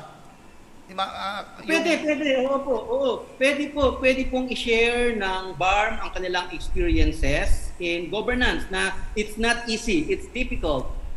Oo, doon po na-realize, ito nga, mga discussions ko kay Chairman Moran, ano, na-realize niya na sinasabi niya, madalas, you know, Prof, madali pa lang maging kwan, maging revolusyonaryo kaysa maging governor. Oo, ma- mas mahirap po talagang mag-govern. Mas madali pong makibaka pero mahirap pong mag-govern. At pwede pong i-share ng uh, BARM uh, government yan with their Taliban counterpart uh, na mahirap pero they need to sustain their kwan, Yes. their uh, their efforts ano kaya nga ang BARM officials ngayon naghihingi ng extension eh sa transition kasi ang ikli na binigay sa kanila for transition Oo nga, oo kaya humingi sila ng extension Hmm. Ah, do you support the, the extension? Kasi mukhang hati ang ano eh. Mukhang hati yung ilang mga Opo. Muslim leaders natin eh. Opo, ako po ang tingin ko po having may understanding of the situation kasi kung hindi mo pagbibigyan ang sila baka magtampo eh baka bumalik yan. Mm. bumalik yan sa armadong pakikibaka kaya sabi ko et tama nga naman napakailiit ng transition na binigay natin sa kanila. Bakit kasi natin tinrap yung batas na ganyan? Kasi umpisa pa lang tinasabi ko napakaliit ng transition period na yan, napaka napakaikli. So, uh, bigyan pa po natin sila ng chance na improve themselves. Kasi nga, eh, yung mga nag-o-oppose po sa transition, kasi yung po yung gusto nila nilang mag-take over. Oo nga Political eh. po yan kasi sa loob po, may internal political dynamics din po sila. eh. Gusto nga, oo po nga. nilang klitan yan. Kasi ang laki ng pondo na binigay po natin It sa farm para that. po magkaroon po sila ng self-governance. Mhm. Ayun, na, na, na, natumbok mo, Natumbok, Prof. yun na yun. Ah, ayun ang pinagtatalunan, hindi Yun yung po. paano yusin yung barm, Kaya kung nga po, hindi. may internal political dynamics din po talaga ang sitwasyon. Oo, ayun pala. Hindi kung paano aayusin yung BARM, kung paano Hindi, magkakaayusan. Paano, paano hahatiin yung pondo? Paano yung ayusan? So, uh, th- Opo. thank you, thank you, Prof. Uh, again, uh, we- we'll just summarize. Ano, uh, ear- earlier, uh, you mentioned, uh, uh, yun nga, uh, kailangan ang America particularly must rethink its position. Hindi na po pwede yung dati. Um, maybe, sabi mo nga, ang mga Chinese ay malaki at tamang hinala sa mga ano sa mga Taliban but nevertheless sabi nila kaysa makipag makipag-away sige pragmatic ano Alok ng tira. Di ba? Pragmatic cooperation ang ah, approach ng ah, China. Ang mga Amerikano naman kasi, di ba? O sige, ayaw namin kayo mag-succeed. Eh, wala rin kayong makukuha tulong sa amin. Parang ganun eh, di ba? Which, maaring ma, ma, kung hindi makadevelop ang mga Taliban, ma-frustrate, eh, manggulo na lang na manggulo. Pro, parang ganun, di ba? Kung ah, hindi ma, kung hindi i-rethink ng mga Western powers yung kanilang position tanggapin yung vis-a-vis the Taliban, di ba? Tanggapin yung financial aid ng China. Ito kasi ang problema, ito po yung problema when it comes to the US, pag kasi naging successful yung Taliban, ang message po na i-deliver po yan na mali ang Estados Unidos. Yun na nga. eh. Ito ang problema. Pero sa kung kung pagbibigyan natin yung ano, 'di ba, yung ah, let's giving peace a chance, 'di ba? Medyo yung ganitong parang sa matter of pride ng on the part of the Americans. Eh isang tabi na muna siguro yun, prof, 'di ba? Kung gusto natin magkaroon ng stability diyan sa ah, parting yan ng ah, mundo, eh isang tabi na muna natin yung pride. Huwag na nilang isiping mali sila, 'di ba? Kundi ah, let's let's move forward Pagbigyan natin ng Taliban, parang yung approach nga ng China na kumbaga open-minded, maski tamang hinala, sige, I will give you the benefit of the doubt. Tingnan natin kung ah, totoo kayo, Tama po. sincero kayo sa sinasabi ninyo. Tama po yan. Kaya, mm, tama po yan. Well, well, uh, we hope that uh, you have clearly uh, sent this uh, sent this uh, sent this uh, message to your uh, friends in the US government, bro. I'll, I'll send your message. You want? No, hindi kasi kasi 'di ba? Yeah. Actually ngayon, ah, ang tingin ko dito, Prof, hindi alam ng Amerika ang gagawin, anong policy ang i-adapt nila eh para ma maano tong sitwasyon na ito, 'di ba? Because all of their previous policies and strategies the past 20 years sablay eh. 'Di ba? Even President Biden, nung nagkaroon siya ng press briefing the other night, parang hindi niya alam eh. He was... Oo, 'di ba? So, ano anong anong ang mo doon, Prof, na, na, na-relay mo ba sa kanila yung message? Opo, kaya nga po may mga kaibigan po ako sa US na tinatag na po ako na pro-China. Sabi ko, naku, napaka mali pong pag-iisip yan. Kasi automatic pa parang kung di ka kaibigan, kaaway ka. Sabi ko, again, that kind of mentality should be, kuwan, should be challenged. Kumbaga, you really have to rethink eh. Wag na, hindi na porket uh, in, ina, kung kino-consider mo yung approach ng China, eh, pro-China ka na, eh, ah, dapat po maiwasan na po yung ganyan. Yung, yan po yung mentality ni George Bush when he was waging the global war on terror na Yes, yes, nagkamali na if you're against us, if you're not with us, you're against us. Mali po yun. Oo. Mali pong kasi napaka napaka simplistic way of viewing a complicated things po. Oo. So Well, kaya nga ako ang sinasabi ko na Yeah, yeah, well, Prof, uh, na, ito, kasama na natin si uh, Congressman uh, Mike uh, Defensor ng anak kalusugan na party list. Uh, Congressman, Opo, uh, oo, good morning. opo. At uh, Sana po, siguro, oo. before natin bigyan ng sapat na pagkakataon si Congressman Mike, eh, total, nasolo naman natin ng mahigit isang oras si Prof. Marami kami na kung uh, balita sa iyo. Eh, Pwede nang pambana rito, Prof, no? Ah, Islamic Emirate of the isulat nito. Sarap isulit ito wag po. sa taga-defense beat. wag po, wag po, wag po muna, wag niyo po muna ikwan yan kasi baka mag-create ng unnecessary Kwan lang po muna yan, keep that under wraps muna, atin-atin pa muna yan. Oh, sa bagay, tayo, tayo lang naman nag-uusap. pa, Hindi, naman- tayo-tayo tayo, lang. naman. eh. Baka po ma-preempt eh, ma-preempt yung mga tao na yon ay baka i-close nila. Minomonitor pa po natin kasi. Ayun, Wag sige, muna, sige. muna. At- at- at- Premature tayo- premature. Tayo, tayo lang naman ang nag-uusap, Prof. Wala namang nakakaalam na iba. So, hindi na muna, Tayo tayo lang muna, tayo tayo lang hindi na muna. muna namin gagawin balita yan. Eh, anyway, ah, ah, Prof, thank you very much po. Thank Any you, parting word po sa ating mga tagapanood at saka tagapakinig, mga taga-subaybay before ah, ang amin naman pong ah, kukulitin ay si Congressman, Congressman ah, Mike Defensor. Go ahead, Prof. You have ah, all the time. Sa mga panahon po na natatakot tayo, sa mga panahon po na tayo po ay nakukonfuse, sa mga panahon po na ang dami po nating katanungan, napakahalaga po ng papel ng pag-aaral. At yan po, kaya po ako pumapayag sa mga ganitong klaseng engagement kasi gusto ko pong maging bahagi sa patuloy na proseso ng pag-aaral ng ating lipunan at ng ating daigdig para magkaroon po tayo ng appropriate response to the situation. Maraming salamat po sa opportunity sa tagsasalamat ah, sala- salamat din po kay Congressman Michael Defensor ito ka contemporary ko sa UP yan si Kan eh, sa ah, student council kasa- kasama namin yan. At siya po ay pinagpatuloy niya ang kanyang political activities. ako po ay huminto. huminto at ako po ay nag-concentrate sa academe. Pero Yan, oh. kasamaan po namin yan sila ah, Congress Michael Defensor, sila Chis Escudero, ah, sila um, Akiko Pangilinan, mga kone, pero mas bata po ako sa kanila. Thank you, Prof. Romel. Thank you. po. Si ang atin pong isa sa naging bisita si Professor Romel Ban Banlawi. Ban, Banlawi. Oo, yan. At Thank you, ito Prof. na. At ito ang ating ano, ah, Congressman ah, Mike Defensor, salamat doon sa pinadala mong ivermectin. Ah, ginagamit na namin. May orange flavor na pala ngayon yun. Kulay orange. Ba't parang wala akong natanggap? Hindi, Capsule, capsule ko. Good morning po, Pagka kailangan po, Congressman. anytime. Pwede tayo magpadala dyan sa mga kasama natin dahil alam naman natin yung mga media nating mga kaibigan, eh araw-araw po nasa labas eh. Talaga nagtatrabaho naman, essential workers sa panahon ngayon. So anytime mo, magsabi lang kayo, magpapadala tayo pero wala, orange lang ho talaga, walang ibang kulay. Ah, akala namin meron ng orange flavor. Grape, apple, mga ganon. Kasi yung una namin nakukuha kay Prof. ah, kay Dr. Iggy Agbayani, kulay puti yun eh. No? Oo. Oo, orange. yung pinadala mo orange, akala namin meron ng orange flavor ngayon. Yung political Oo. oh. ng Nationalist Party yan, di ba? Ay, ganun ba? Usapang ano? ah, kaya pala ganun. Well, uh, well, uh, uh, Congressman Mike, uh, good morning and thank you once again for uh, being with us here sa ating media forum, Meet the Press, uh, Report to the Nation Media Forum. At uh, unang question muna namin before we go down to the local, eh, kumusta ba ang kaganapan niyan dyan sa Kongreso? Uh, kung uh, kumusta itong pagbusisi ninyo sa ulat ng, ng COA? Commission on Audit.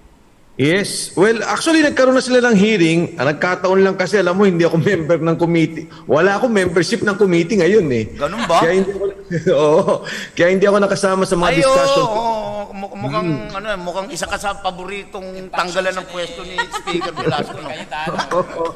Oo.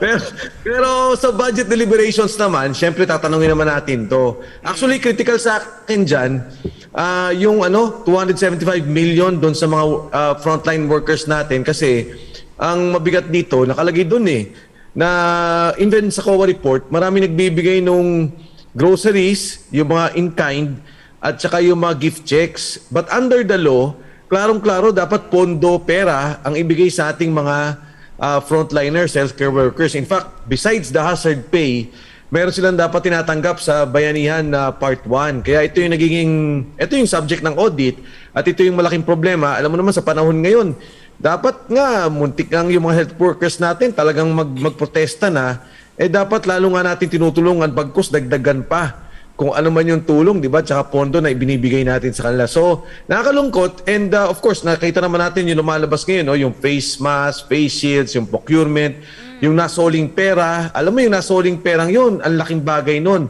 Uh, maraming epekto lahat yan sa atin eh. For example, kung mapapansin nyo sa maraming lugar, walang mga vitamins na binibigay. Vitamin yes, C, uh, mga zinc, na yun nga, sayang naman tong pondo na to, almost 11 billion to, na isinoli na doon sa uh, National Treasury o doon sa pondo natin na dapat nagamit sana uh, para pagtulong sa ating mga kababayan.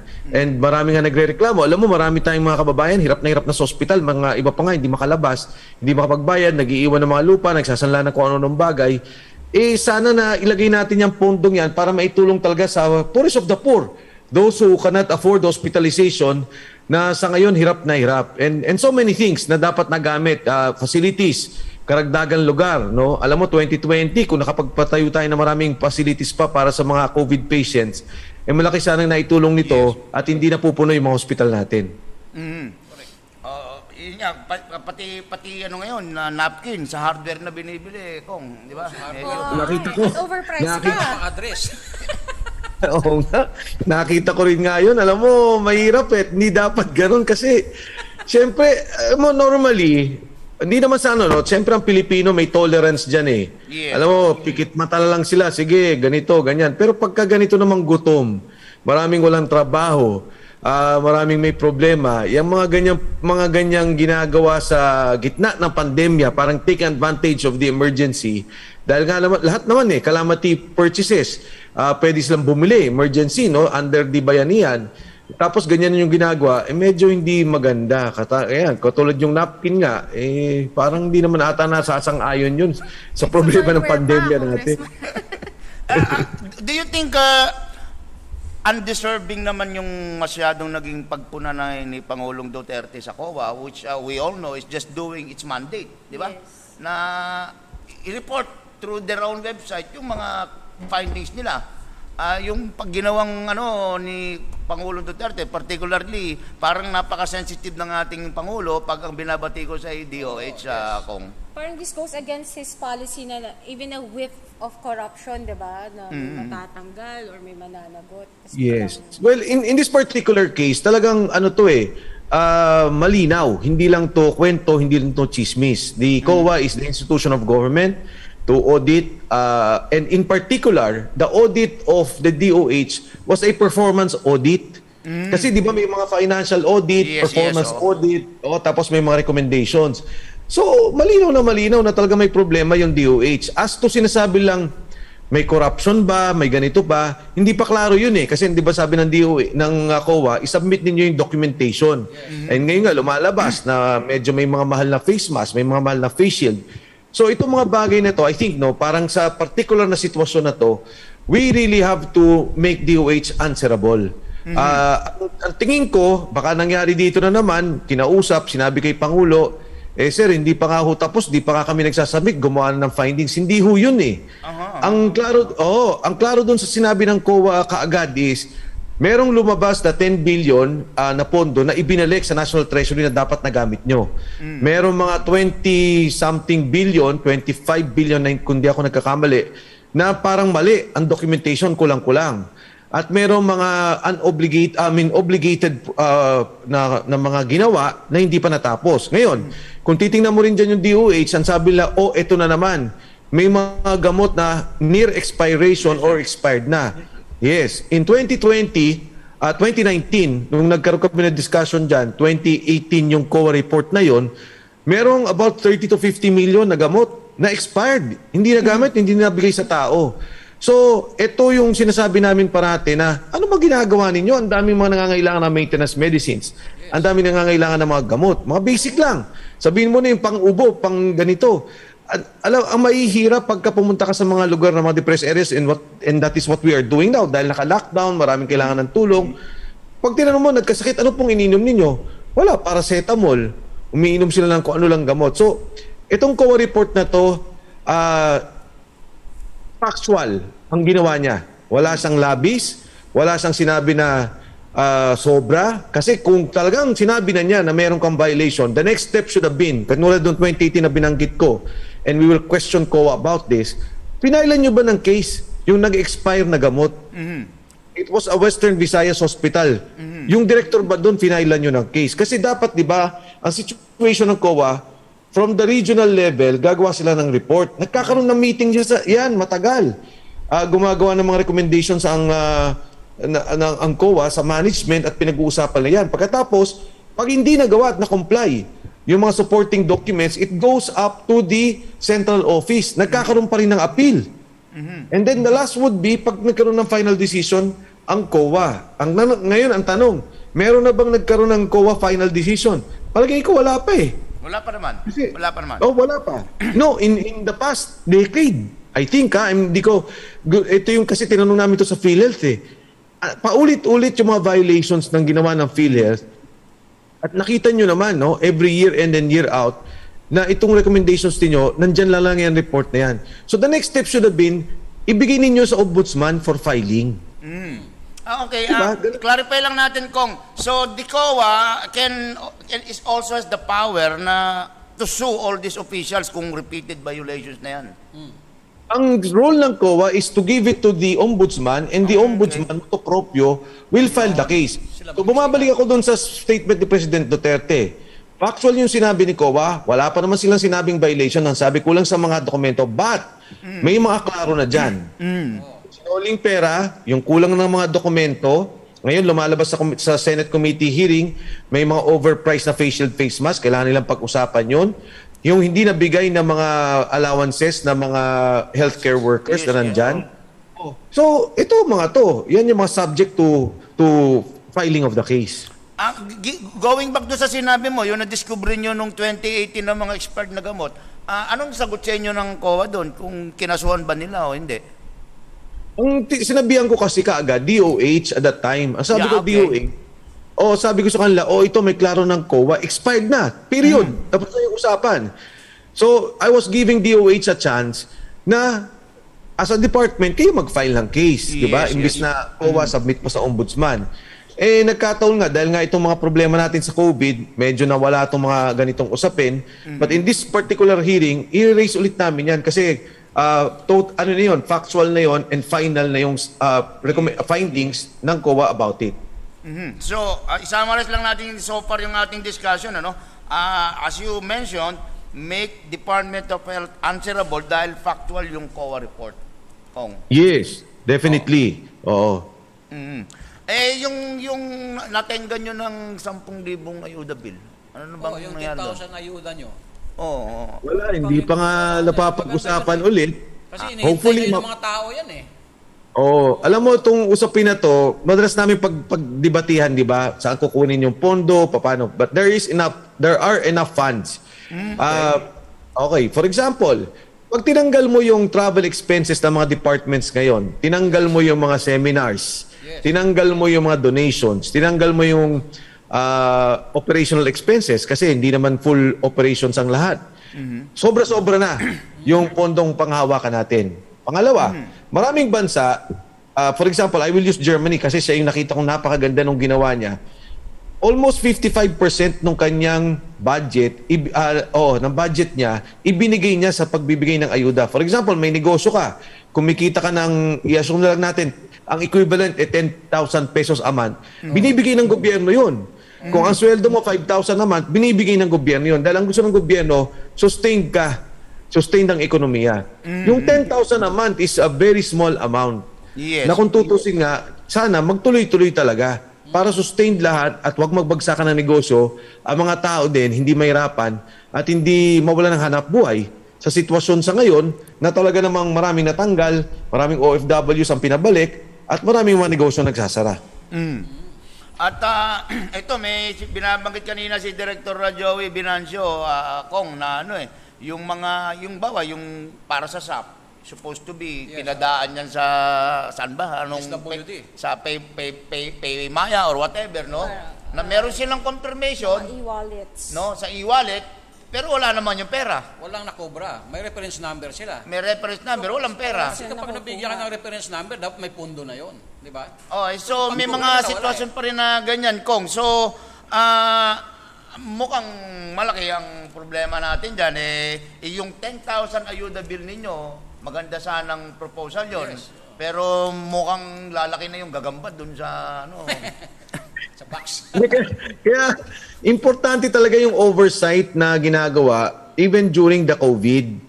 Ah, in fact, yan nga yung sinasabi namin na nung nag-ECQ, nagkaroon kami ng recess, but anyway, tapos na ng issue yun. But dapat continuously, nag-oversight kami sa mga ginagawang programa. For example, oversight on vaccination, oversight on ayuda, oversight on ah, sa mga lockdown areas. Kasi ah, kailangan tuloy-tuloy yung pagtutulungan eh. Katulad doon, nakita namin dati sa DSWD, para pala mabigay yung ayuda, grabe yung documentary requirements nila. Oo. Parang 10 ata o 30 para maiayos lahat. So sinabi namin, hindi dapat ganyan.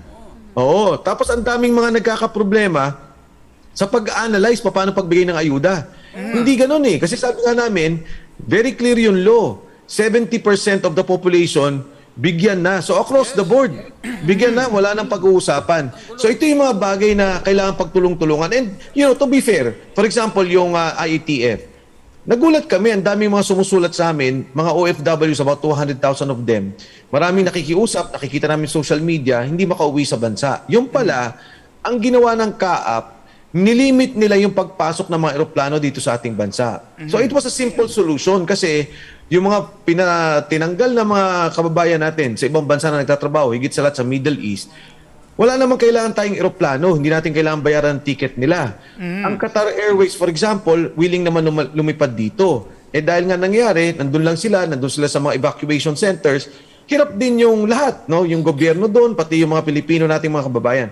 So it was as simple as oversighting CAAP, telling IATF, tapos yun, every, uh, I think three times a week, lumilipad yung mga eroplano dito, pinapapasok, inayos yung OWA, inayos yung Department of uh, Health kung pagpasok ng mga OFWs natin, and we were able to bring in, in uh, two, three months, about uh, 200,000 of our kababayan sa abroad. So talagang ganun lang, tulungan lang talaga. Hindi naman to dapat sisihan, uh, tirahan, no? Pero kumisan din, at least kung may oversight ka, yung mga ganyang ah, pagbili ng kung ano nung bagay na hindi naman dapat sa gitna ng pandemya, yung mga overpricing na hindi naman dapat sa gitna ng pandemya, nababawasan din natin kasi siyempre natatakot din sila dahil may nakatingin at may nakatutok sa ginagawa nila. Yes. Oo. Ang, ang pinagtataka lang natin ngayon, ah, kung Mike, ano, bakit yung panahon pa ng pandemya, halos ah, mostly ng government agencies, ay may napaplag nung, ano, ng COA. Yes. Parang napakalaya nung paggawa ng, ano, ng kalukuhan dito sa pundo ng bayan, ano? Ah, well, siguro isa sa mga bagay kung ba't nangyari ito sa kadahilanan na yun nga naglahat nagpinayagan na magkaroon ng emergency purchases. Pero ang di naisip ng maraming mga agency, may DBMPS eh. Meron tayong guidelines kung ano yung maximum minimum pricing. So, ito yung isang bagay na dapat talagang dapat nakita nila. And I guess yun ang nangyari sa sa COA na na-flag nila yung maraming mga purchases na ginagawa kasi nga masyado naman yung nagiging presyo. Masyado naman yung nagiging ah, overpriced doon sa mga nakikita nila mga bilihin na ginagawa ng mga ahensya. So, Mike, ah, kung maglilinawin lang natin, ano, ang pwede na mag ah, sampa ng kaso dito sa mga inimbestigahan ng COA ngayon, itong ombudsman. Well, basically, anyone can file. Pero talaga namang siyempre, ang ifa-file mo dyan sa ombudsman muna, from the ombudsman pupunta sa Sandigan Bayan. So for example, may nakita silang ginawa na hindi tama sa isang ahensya, any private person can file. Ako, ang tingin ko, for example, sa DOH, nakita ko nyari, may mga talagang ginawang kalokohan sa isang region. And sinasabi ng Secretary Duque, wala kaming wala akong ginawa diyan, hindi niyo kami binigyan ng chance. Eh, yung pagkakataon niya, filean niya yung mga dapat filean kung may nakikita siyang mali. 'Di ba? Dahil malinaw naman eh, yung face shield, Central office lang yun eh. Procurement services, alam mo na kung sino mga taong involved. At alam mo na, at that time, ah, nakaka, ma- na- nakakagulat dahil madaling tingnan lahat ng presyo. Yung binabanggit nilang 122 pesos, all you have to do is check yung panahon na yon check mo sa Shopee, sa Lazada, magkano lang ba? Malinaw na kagad kung magkano yung overprice eh. Oo, oo. Mm, mm. Tama, tama. Eh yung yung dito sa ano, ah, yung budget for frontliners kasi meron akong nakitang post sa social media kung pinasa ko pa nga ito eh. Magkano ba talaga para sa frontliners ang hazard pay nila ngayon? Kasi supposed to be 500 and nakuha niya 60 pesos a Yung day. namatay na yung nurse, namatay, namatay na 30. nurse. Yung nurse sa Rizal. Oo, Okay. sa Rizal. Oh, Magkano ba ang- talaga kung ang hazard pay ng ating mga frontliners at nurses? allowance. Okay. Ang ang hazard pay iba siya dun sa ah, allowance na binigay ng gobyerno. Okay. Okay, yes. May allowance yung gobyerno, yun yung 275 million. Yung hazard pay naman, ah, hindi ko sigurado ko anong salary grade, no? Pero alam ko, parang salary grade 29. 25, yung salary grade 29, that is about 40,000, I think, 40, 38,000 to 40,000. 25% nung kanilang salary. Okay. Ah, from the time that they, oo. Tapos, yun yung hazard pay. Yung, yung, yung, yung namang 38,000 to 40,000 pataas, salary grade 30 pataas ata yan, 5%. Yun ang salary, yun ang hazard pay nila. So, ang dapat tanggapin ng ating mga workers is, of course, yung salary nila, meron silang allowance na binigay natin dito. Pag may namatay, merong 1 million. Iba pa yun. Oo, meron No, iba pa yun. yun walang na, na ano? Sub Tapos, yung hazard pay. Pero yung nakalagay sa COA, COA report is the allowance to be given. Ito na yung ginawa na na merong gift certificate, merong mga oo, mga grocery na ang nakalagay sa batas talaga pera ang ibigay sa kanila. O di, diyan pa lang, hindi ba medyo glaring na, ah, Kong Mike, yung paglabag. Hindi mo gift check sa halip nakas. Yung mga Yes. dapat magdemanda rito, no? Yung mga nurse, ano? Yung mga frontline. Oo. Ngayon, ah, Ik- ba't ik- sabi mo nga, lang you're na- giving Secretary Duque the chance. Eh, ba't mukhang hanggang ngayon wala pa rin siyang, ano, ah, sinasampahan ng kaso, except to say na winasak daw ng COA ang kanilang dangal. Winara. Ang winarak ang kanilang puso, ganun. Hindi na daw siya nakakatulog. Pero ang ganda naman ang mukha niya, mukhang mahaba naman ang tulog. ah, ang isang pagkakamali ng DOH sa aking palagay, ah, masyadong lang sinicentralize lahat ng purchasing nila eh. Diba? If these funds were given to the regions, meron siyang DOH NCR, Region 1, 2, 3, 4, 5, 6. O sinabi niya, ito yung guidelines natin, ito yung dapat ibigay sa mga tao, kumpleto yun. Hindi dapat hindi sila yung nasisisi. Ang problema sa kanila parati, sinicentralize nila lahat ng bilihan eh. Ah, parang Kaya ano, yun. akong inimbudo. Kumbaga, imbudo. Yun, ayun. yun. Sabi nga ni Professor, tayo-tayo lang naman eh. Opo. Tayo talaman ko, wala namang ibang nakikinig. Ah, kumbaga na imbudo. Nagkaroon ng problema ngayon and then i- i- i- which ah, sa tingin mo hindi dapat nangyari yung kung dinicentralize ang ah, purchasing ng ano, mga pangangailangan ngayong may COVID. Ang tingin ko, oo. Dahil kasi kahit naman nung, well, of course, nung non-COVID, mabigat na problema. But lalo ngayong COVID. Yes, oo. At kung ito talaga, nagkaroon sila ng malinaw ga- na guidelines, eh, yung nga, eh, syempre, ah, sabi mo nga, inimbudo, eh, de, syempre, yung inimbudo, kayo may responsibilidad. di, ba? Tsaka dapat yung documentation niya, napakadali. Oo, oo. Well, ah, kung ah, punta tayo doon sa ibang ano, ah, ibang ah, topic, ano ba tong pinopromote mo raw na ano? Ah, ano to? Bag, bagong Quezon City ba? Bagong Bagong Quezon, Quezon City. City. Oo. Ah, ito. Oo, hindi kasi, Ah, ano ito? Malayang Quezon City. Ah, Oh, ano ba ibig sabihin nito? Hindi ba malaya ang Quezon City ngayon?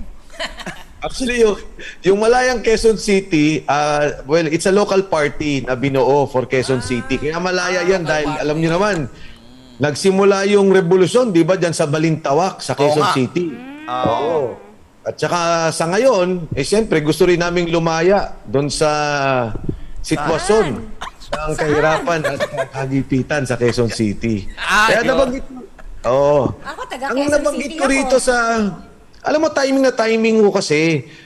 Yung itong Quezon City, ganyan din ang ginawa. Mayroon siyang bilhin na face shield at ah, 67 pesos. At that time, ang presyo ng face shield Face shield. Limang 60 piso lang. Oh, 67 pesos ang face shield dyan sa Quezon City, Kong. Eh, 20 na Yes. lang yung Divisoria eh. Oo. Di ba nga, 10 lang eh. Kung 10, pwede yung, 15. kung pwede, kung pwede yung makapag-share screen, pwede Yes. po ba? Pa, no, pa- sige, ko lang sa- Share mo yung screen, oh. Teka ho ah. Eh, teka, lumabas na rin ba ang report ng COA sa Quezon City, Kong?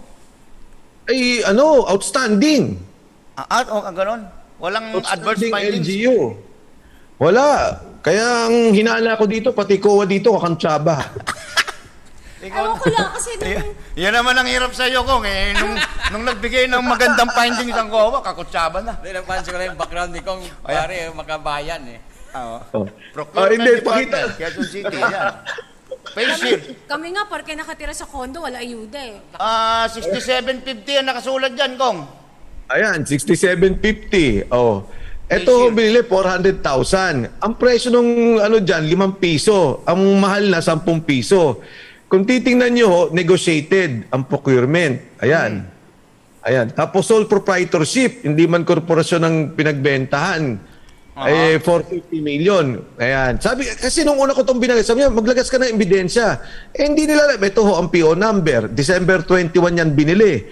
Eh, nung December 21, 5 piso lang sa Divisoria pa, retail. Oo, nag, nagalit pa nga ang DTI dahil nagbebenta ng 10 piso. Ang pumirma po, siya mismo. O, ayan. Oo. Oh, eto naman ho yung sabon. Sabi nila sa akin, ang mura daw nito eh. Disinfectant spray. Oh. 695 ang unit cost. Ayan. Ngayon ho, eto naman yung ah eto yung picture nung biniling face shield. Sabi lang kasi daw mahal. Eto nga ho yan yung sa Lazada na mura. Oo, Ayan. actually. Hindi naman yan yung lift up, yung pwedeng iangat na gano'n. Oh, hindi, hindi. Baho. Ah, Oh. Kong, pinapakita mo yan for the sake of transparency, ha? Hindi ka namumuliti ka dyan. Baka, Hindi. baka sabihin ng... Nagpapaliwanag lang si congressman. Hindi siya malinaw, Naku. nililinaw. Ang, ang katotohanan, no, yung politika sa Quezon City, hindi ko yan iniisip. Ang, nag, ang nagtutulok po niyan, yung mga kasama, hindi ko yan iniisip. Pero ang akin lang worry, and you will be surprised in the coming days, sunod-sunod po yan. Hindi lang ho yun. Ang late ng purchase na yun eh. Pag makikita nyo, if you add all- it all up, billion, billion. Ngayon, ano ang danger? Kung ganito ang mangyayari sa lahat ng LGU, ang lahat ng agencies, delikado ang pondo natin. Because supposedly nga, even in an emergency situation, dapat hindi ho ang presyo eh todo-todo at walang pakundangan ang pagbili. So can you imagine, Quezon City, ang ayuda lang niya ho niya ah, is worth 4 billion pesos. I-times ano nyo ho yan sa buong bansa natin. So, kung kung lahat ngayon, kunyari yung face shield, ginawa ho nila yan. Ako nga, kaya ko ho yan unang nakita dahil galit ako dyan sa face shield na yan. Mm, yes, dahil yes, ang feeling oo. ko sa... Oo, ang I will remember ang that, ah, isa ka sa advocate na hindi naman dapat nagpe-face shield eh.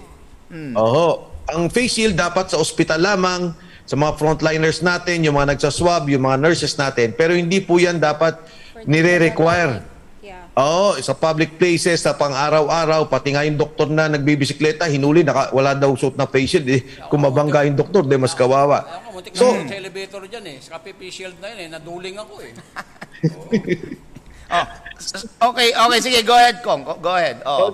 So ito ngayon, lumabas yan. Nagkataon din naman, lumabas yung sa DOH. Kaya maganda ho to, contest sila ng palakihan kung magkano talaga yung presyo. In the coming days, lalabas naman yan. And this should not happen in the whole country. Hindi lang ho Quezon City. Dapat lahat ng LGUs, lahat ng agencies should not be doing this. Sa gitna ng pandemya, maraming gutom, maraming hirap. Wag naman po. Exactly. But as you mentioned, ah, maganda ang report ng COA sa Quezon City. Outstanding. Kaya nga po eh. Oo, maganda nga po. Ano Nung naman sin- nararamdaman taga Quezon City ako? Yun nga po yung sinagot nila sa akin. Sabi lang, maganda ang report ng COA at awardee pa ang Quezon City. Sabi ko, napakaganda ng sagot nyo sa akin. Dahil pati COA dyan, ipapatawag ko. Kasi, now, to be fair, walang alam ang national. So, yung local COA, di ba, bawat City of Manila, Yes, yes, LGU, DOH, may kanya-kanyang COA ho yan eh. Yes, oo. Ngayon, pagka nakita yan ng COA nas, ng national, and balita ko ngayon, natataranta ngayon yung, yung COA Quezon City, lahat ng, co- lahat ng documents pinapakuha ng COA national, then we will be able to stop, if any, corruption is happening all over the country. Pati yung mga LGUs will be forewarned na huwag niyong gawin yan. Hindi pa tapos ang COVID, may problema pa tayo. Kung anong may tutulong natin sa tao, ibigay natin. Face shield, ayuda, pagkain, tulong na pera, gawin ho natin yan dahil yan ang kailangan ng tao ngayon. Y- yes, kung tumutulong naman, kaya nga binalan sila ng face shield eh. And then, kinu-question mo naman. Hindi. Sabi nga yun, di ba? Gusto binigyan na nga ng trabaho, gusto pala sweldo. Oh, yeah. Parang ito nangyari dito. parang, parang gano'n yan, Kong. So, ah, ang worry mo rin dito, ah, what you have uh, stumbled upon, wika nga, dyan sa QC, ah, baring nangyayari sa buong ano, sa buong, sa maraming ah, munisipalidad at ah, syudad sa bansa. Eh, ang laki ng nawawalang pondo sa taong bayan yan, Kong. May gut feel ako na because of the emergency, hopefully hindi naman, but I hope not, but people are taking advantage in their procurement kasi nga emergency naman lahat and it is allowed na grabe lahat ang mga nangyari. Uh, sa, yun nga ang point ko eh, na ah, hindi ho dapat nila sa sitwasyon ngayon, o sige, emergency, kumuha na kayo, tama nga eh. Pero di ba, ang dapat pa nga mangyari, mas mura pa. Dahil wholesale eh. Maraming matulungan. Mas maraming matulungan, mas mura pa. Kunyari, bibili ka ng dilata, bumili ka sa grocery, magugulat to kayo pag pinakita ko na lahat ng mga dokumento. Mas mura pa yung nasa Pure Gold, yung nasa sa mga grocery store, kaysa yung binili nila. Eh, kung nangyari ho to sa buong bansa, hindi ho naman ho dapat. Oo. Ah, whe- when you say bumili sila ng mga sardinas, we would assume doon na mismo yan sa manufacturer o sa distributor, main distributor, di ba? Para mas mura. Oo, eh katulad ng binanggit mo, boss, 'di ba yung sabi mo, ah, yung ano, ang tawag doon napkin binili sa hardware tapos eh nga. hindi naman ata justifiable 'yun. Oo. Ah, ah, under the procurement law, ah, kong, kong Mike, kasi yung pinakita mong PO, ah, a single proprietorship involving millions of pesos, ah, negotiated, under the procurement law, kung ako single proprietorship, ah, can I also ah, negotiate yung ganyang kalalaking transaction kahit single proprietorship lang ako? Supposedly, under the procurement law, financially viable ka sa isang bid. Okay. Kaya nga 'di ba kahit sa mga contractors may AAA, double A, sa mga Yes, yes, suppliers may mga ganito rin. So, akin sa aking pananaw, hindi. Dahil nga kung ganito kalaki yung mga purchases, hindi dapat. Ah, pero yun nga nangyari, pinalusot nila yung single proprietorship, hindi ho talaga tingin ko yun. Pangalawa, nung chinek namin yung yung opisina, eh wala rin, parang wala rin talaga, parang resibo lang ang nangyari dito eh. Ah, di ba? Eh, I-assume na natin, resibo na lang ang nangyari. Eh, wag naman ganun kataas ang presyo. Di ba? A, a variant of 10% is acceptable. Mhm. Medyo medyo kaya pang lunukin ng mga taga Quezon City 'yon na Kong no, pero yung overpriced mo na 50 pesos, 60 pesos, medyo parang mahirap Ah, mahirap 'yon. nga dito, ah, Pangulong Parang mabigat yun. Paul, itong ano, yung paano kinonsilte nitong COA, itong 67 na halaga ng face shield. Hindi kaya nga papatawag ng Likong eh. Eh, halos parehas lang nung sa Department of Health eh, ang naging halaga eh. So, hindi Tama. na kalusot sa COA yun. Pero dito, sa Quezon City, bago, paano naging outstanding yung ano ng COA dyan? Ay, for the quality. Palagay ko- Ano ka. Ipa- Ipapatawag nga daw ni Kong Mike eh. Okay. Palagay ko Hindi mahi, nila si mahina Congressman yung eh. Mahina yung nagko-coordinate sa ano sa DOH. hindi nag-usap. Magkano niya ba i-declare Wala diyan? silang Viber group, Kong. Magkano niya ba i-declare diyan para medyo didikit namin ng konti mukhang Wala silang group Tayo-tayo lang naman. Tayo-tayo lang naman. Sabi Oh, yes, Prof. yes, Kong. Oh, tama ka. Tayo tayo lang Sila naman. kailan naman nakikinig, mahina na rin pandinig niyan eh.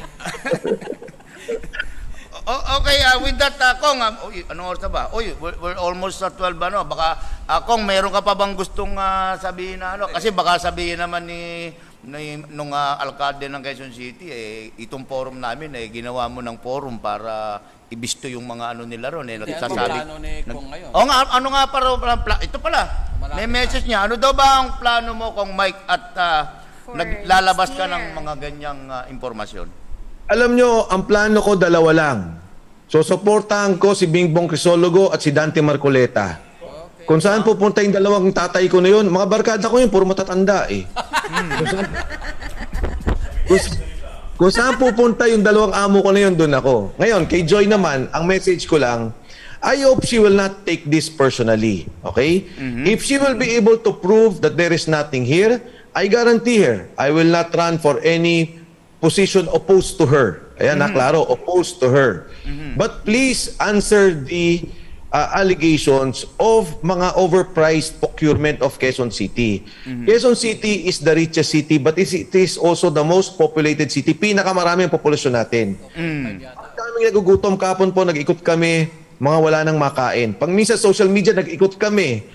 No, imbis na eh, Siyempre, may mga pumupuri na mabuti yung ginagawa nyo, maganda yung ginagawa. Pero karamihan ng mga pumup- nagsasalta, sinasabi kami naman, please, lahat, sana all. So, ito yung aking panawagan sa kanya. Okay, I'm giving her a chance. Sagutin niya lahat to and sagutin niya yung mga procurement na nangyari nitong nakarang taon. Because, sabi nga ni Joyce, di ba, ang inaano niya is ayoko ng ganitong klaseng pamamalakad, ayoko ng ganitong klaseng gobyerno. Kung siya man ay nalusutan at may nangyari na procurement na hindi niya alam, pakasuhan niya yung mga tao niya. Yes. That is the respectable thing to do and I will keep quiet. No, I will even uh, support her for doing what she did. Pero itong ganito, kanat, hindi naman pwedeng pabayaan kasi pagka naman tumahimik kami at walang nagsalita, eh paano na lang? Hindi lang po Quezon City ah. I, I hope that this will be a forewarning to all LGUs and all agencies of government. Sabi nga, no, tayo, tayo, tayo lang, medyo meron naman katanggap-tanggap eh. Pero sa gitna ng pandemya, sa gitna ng may mga problema, wag naman po sana, itodo natin yung pwedeng ibigay sa tao. Mm. Akong, ah, so far ba, itong mga nakakarating sa yung impormasyon ay magkano na ba pinag-uusapan natin dito? Billion. Billion? Billion. Billion. As in 1B. Ah, more than 1B. More than 1B. Ah, Oo. Ay, boss, kaya naman nangyayari, nangy, kaya naman nangyayari yung ganito ngayon, ah, again ah, hindi po ako, yung mga dokumentong nakukuha ko ay nanggagaling din sa opisina nila. So this is not coming from me uh, na ako ba'y gumagawa ng sarili kong research, pero there are well-meaning people inside their offices na nagbibigay ng documents. Kaya mismong yung picture ng face shield, ibinigay pa sa akin eh. Oh. Ayan po, klaro yung PO. Pag tumayo sa bukas, sinabi niya walang ganyang PO, tapos na kwentuhan. Then, napahiya si Mike Defensor, eh paano kung totoo yung PO? And uh, sabi mo, uh, Congress is interested na imbestigahan itong mga ganitong ano sa mga LGUs. Kailan isasalang ang COA ng QC sa Congress? Ah, tingin ko sa budget deliberations na para wala nang Ah, investigasyon. yeah, yeah, yeah, tama, tama. Oo. Kasi 'di ba, ang ang simple lang ang batas eh. For example, sa bayanihan pala na susunod may bayanihan 3. Ilalagay namin that in the emergency purchases uh, you can do that but within BBM procurement service parameters. That's number one. Number two, yung batas ng public emergency cases para sa mga public health emergency, baguhin din, pati calamity, no? Baguhin din na pagka naman may calamity o may public, kasi dalawang batas yun eh, magkahiwalay, dapat hindi nagkakaroon ng overpricing para naman makontrol natin. Kasi ano yan eh, pag emergency, pwede kang kumuha na lang eh. Sa isang, kunyari, may isang warehouse. O pare, kukunin ko na muna itong mga gamot. Babayaran kita. O sige, basta ito usapan. Wala naman sa akin problema yun eh. Pero within range lang ang pricing. Kumita yung nagbenta ng gamot. Kung meron mang kaunti silang naking usapan, wala akong problema pero wag naman yung ganyang garapalan. Mhm. So, ah, yung budget yata natapos na ng Congress sa kung at na-submit na sa Kailan ba isasubmit ng Kongreso yung proposed budget sa Senado? Ah, ang sabi nila sa akin, yung sa budget daw namin, we will be deliberate, deliberating on it August. Ah, this month.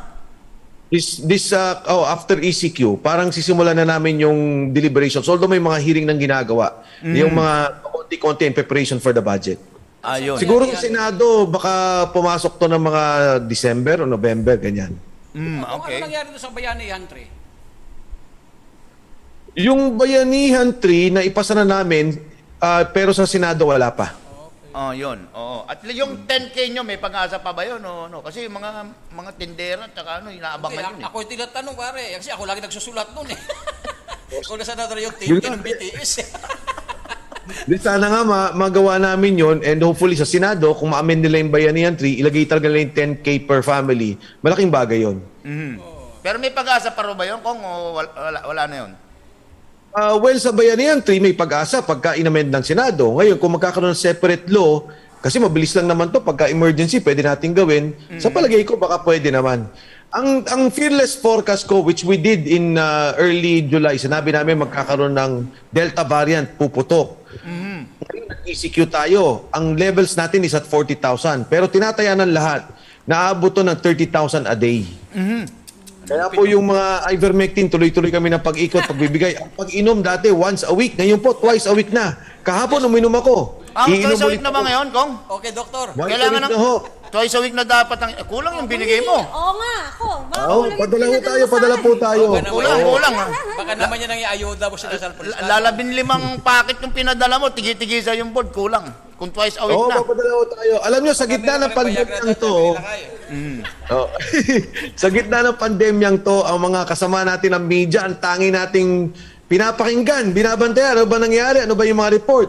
Kaya wala ho sa aking ano yan, ah, kung ano pang kailangan natin na ivermectin. Ah, tutuloy na. Ang hindi ko lang kaya lakay, yung hinihingi ni lakay eh, parang panglalaking gamot. Hindi ko na ho kayang ibigay yon. Ay, Okay. Ah, with that mga kababayan, we thank very much uh, Congressman Mike Defensor Santiago ng ng ah, Anak Kalusugan Party List at ah, nilinaw po niya. Ako hindi May sinasabi pa ah, yata. ah, nilinaw niya hindi po siya tatakbong mayor ng Quezon City. Kung kung ano lang ang takbuhan ni Congressman Marcoleta at saka po ni Bingbong Crisologo. Congressman din ba nga si Bingbong ngayon? Ay ah, Hindi yun po. ang susuportahan niya. Tama ba yun, Kong? Yes sir, boss, walang Santiago ha, Oo nga pala, lang. oh. Nalito oh, Congre- Congressman na Mike Defensor at ah, yung binanggit po niya kanina mga ka- mga kababayan ay ah, nililinaw niya yung mga hawak niyang dokumento sa mukhang lumalabas may mga o, mga overpricing sa Quezon City more than 1 billion. Ang mga dokumento po ay hindi niya pinagawa sa rekto. Ito po ay nanggaling din sa mga opisina diyan sa Quezon City Hall. At kasama na yung mga picture. At ah, kung sasagutin daw lahat, maayos masasagot lahat yan. Mayor Joy, ito po magandang sinabi ni Kong Mike.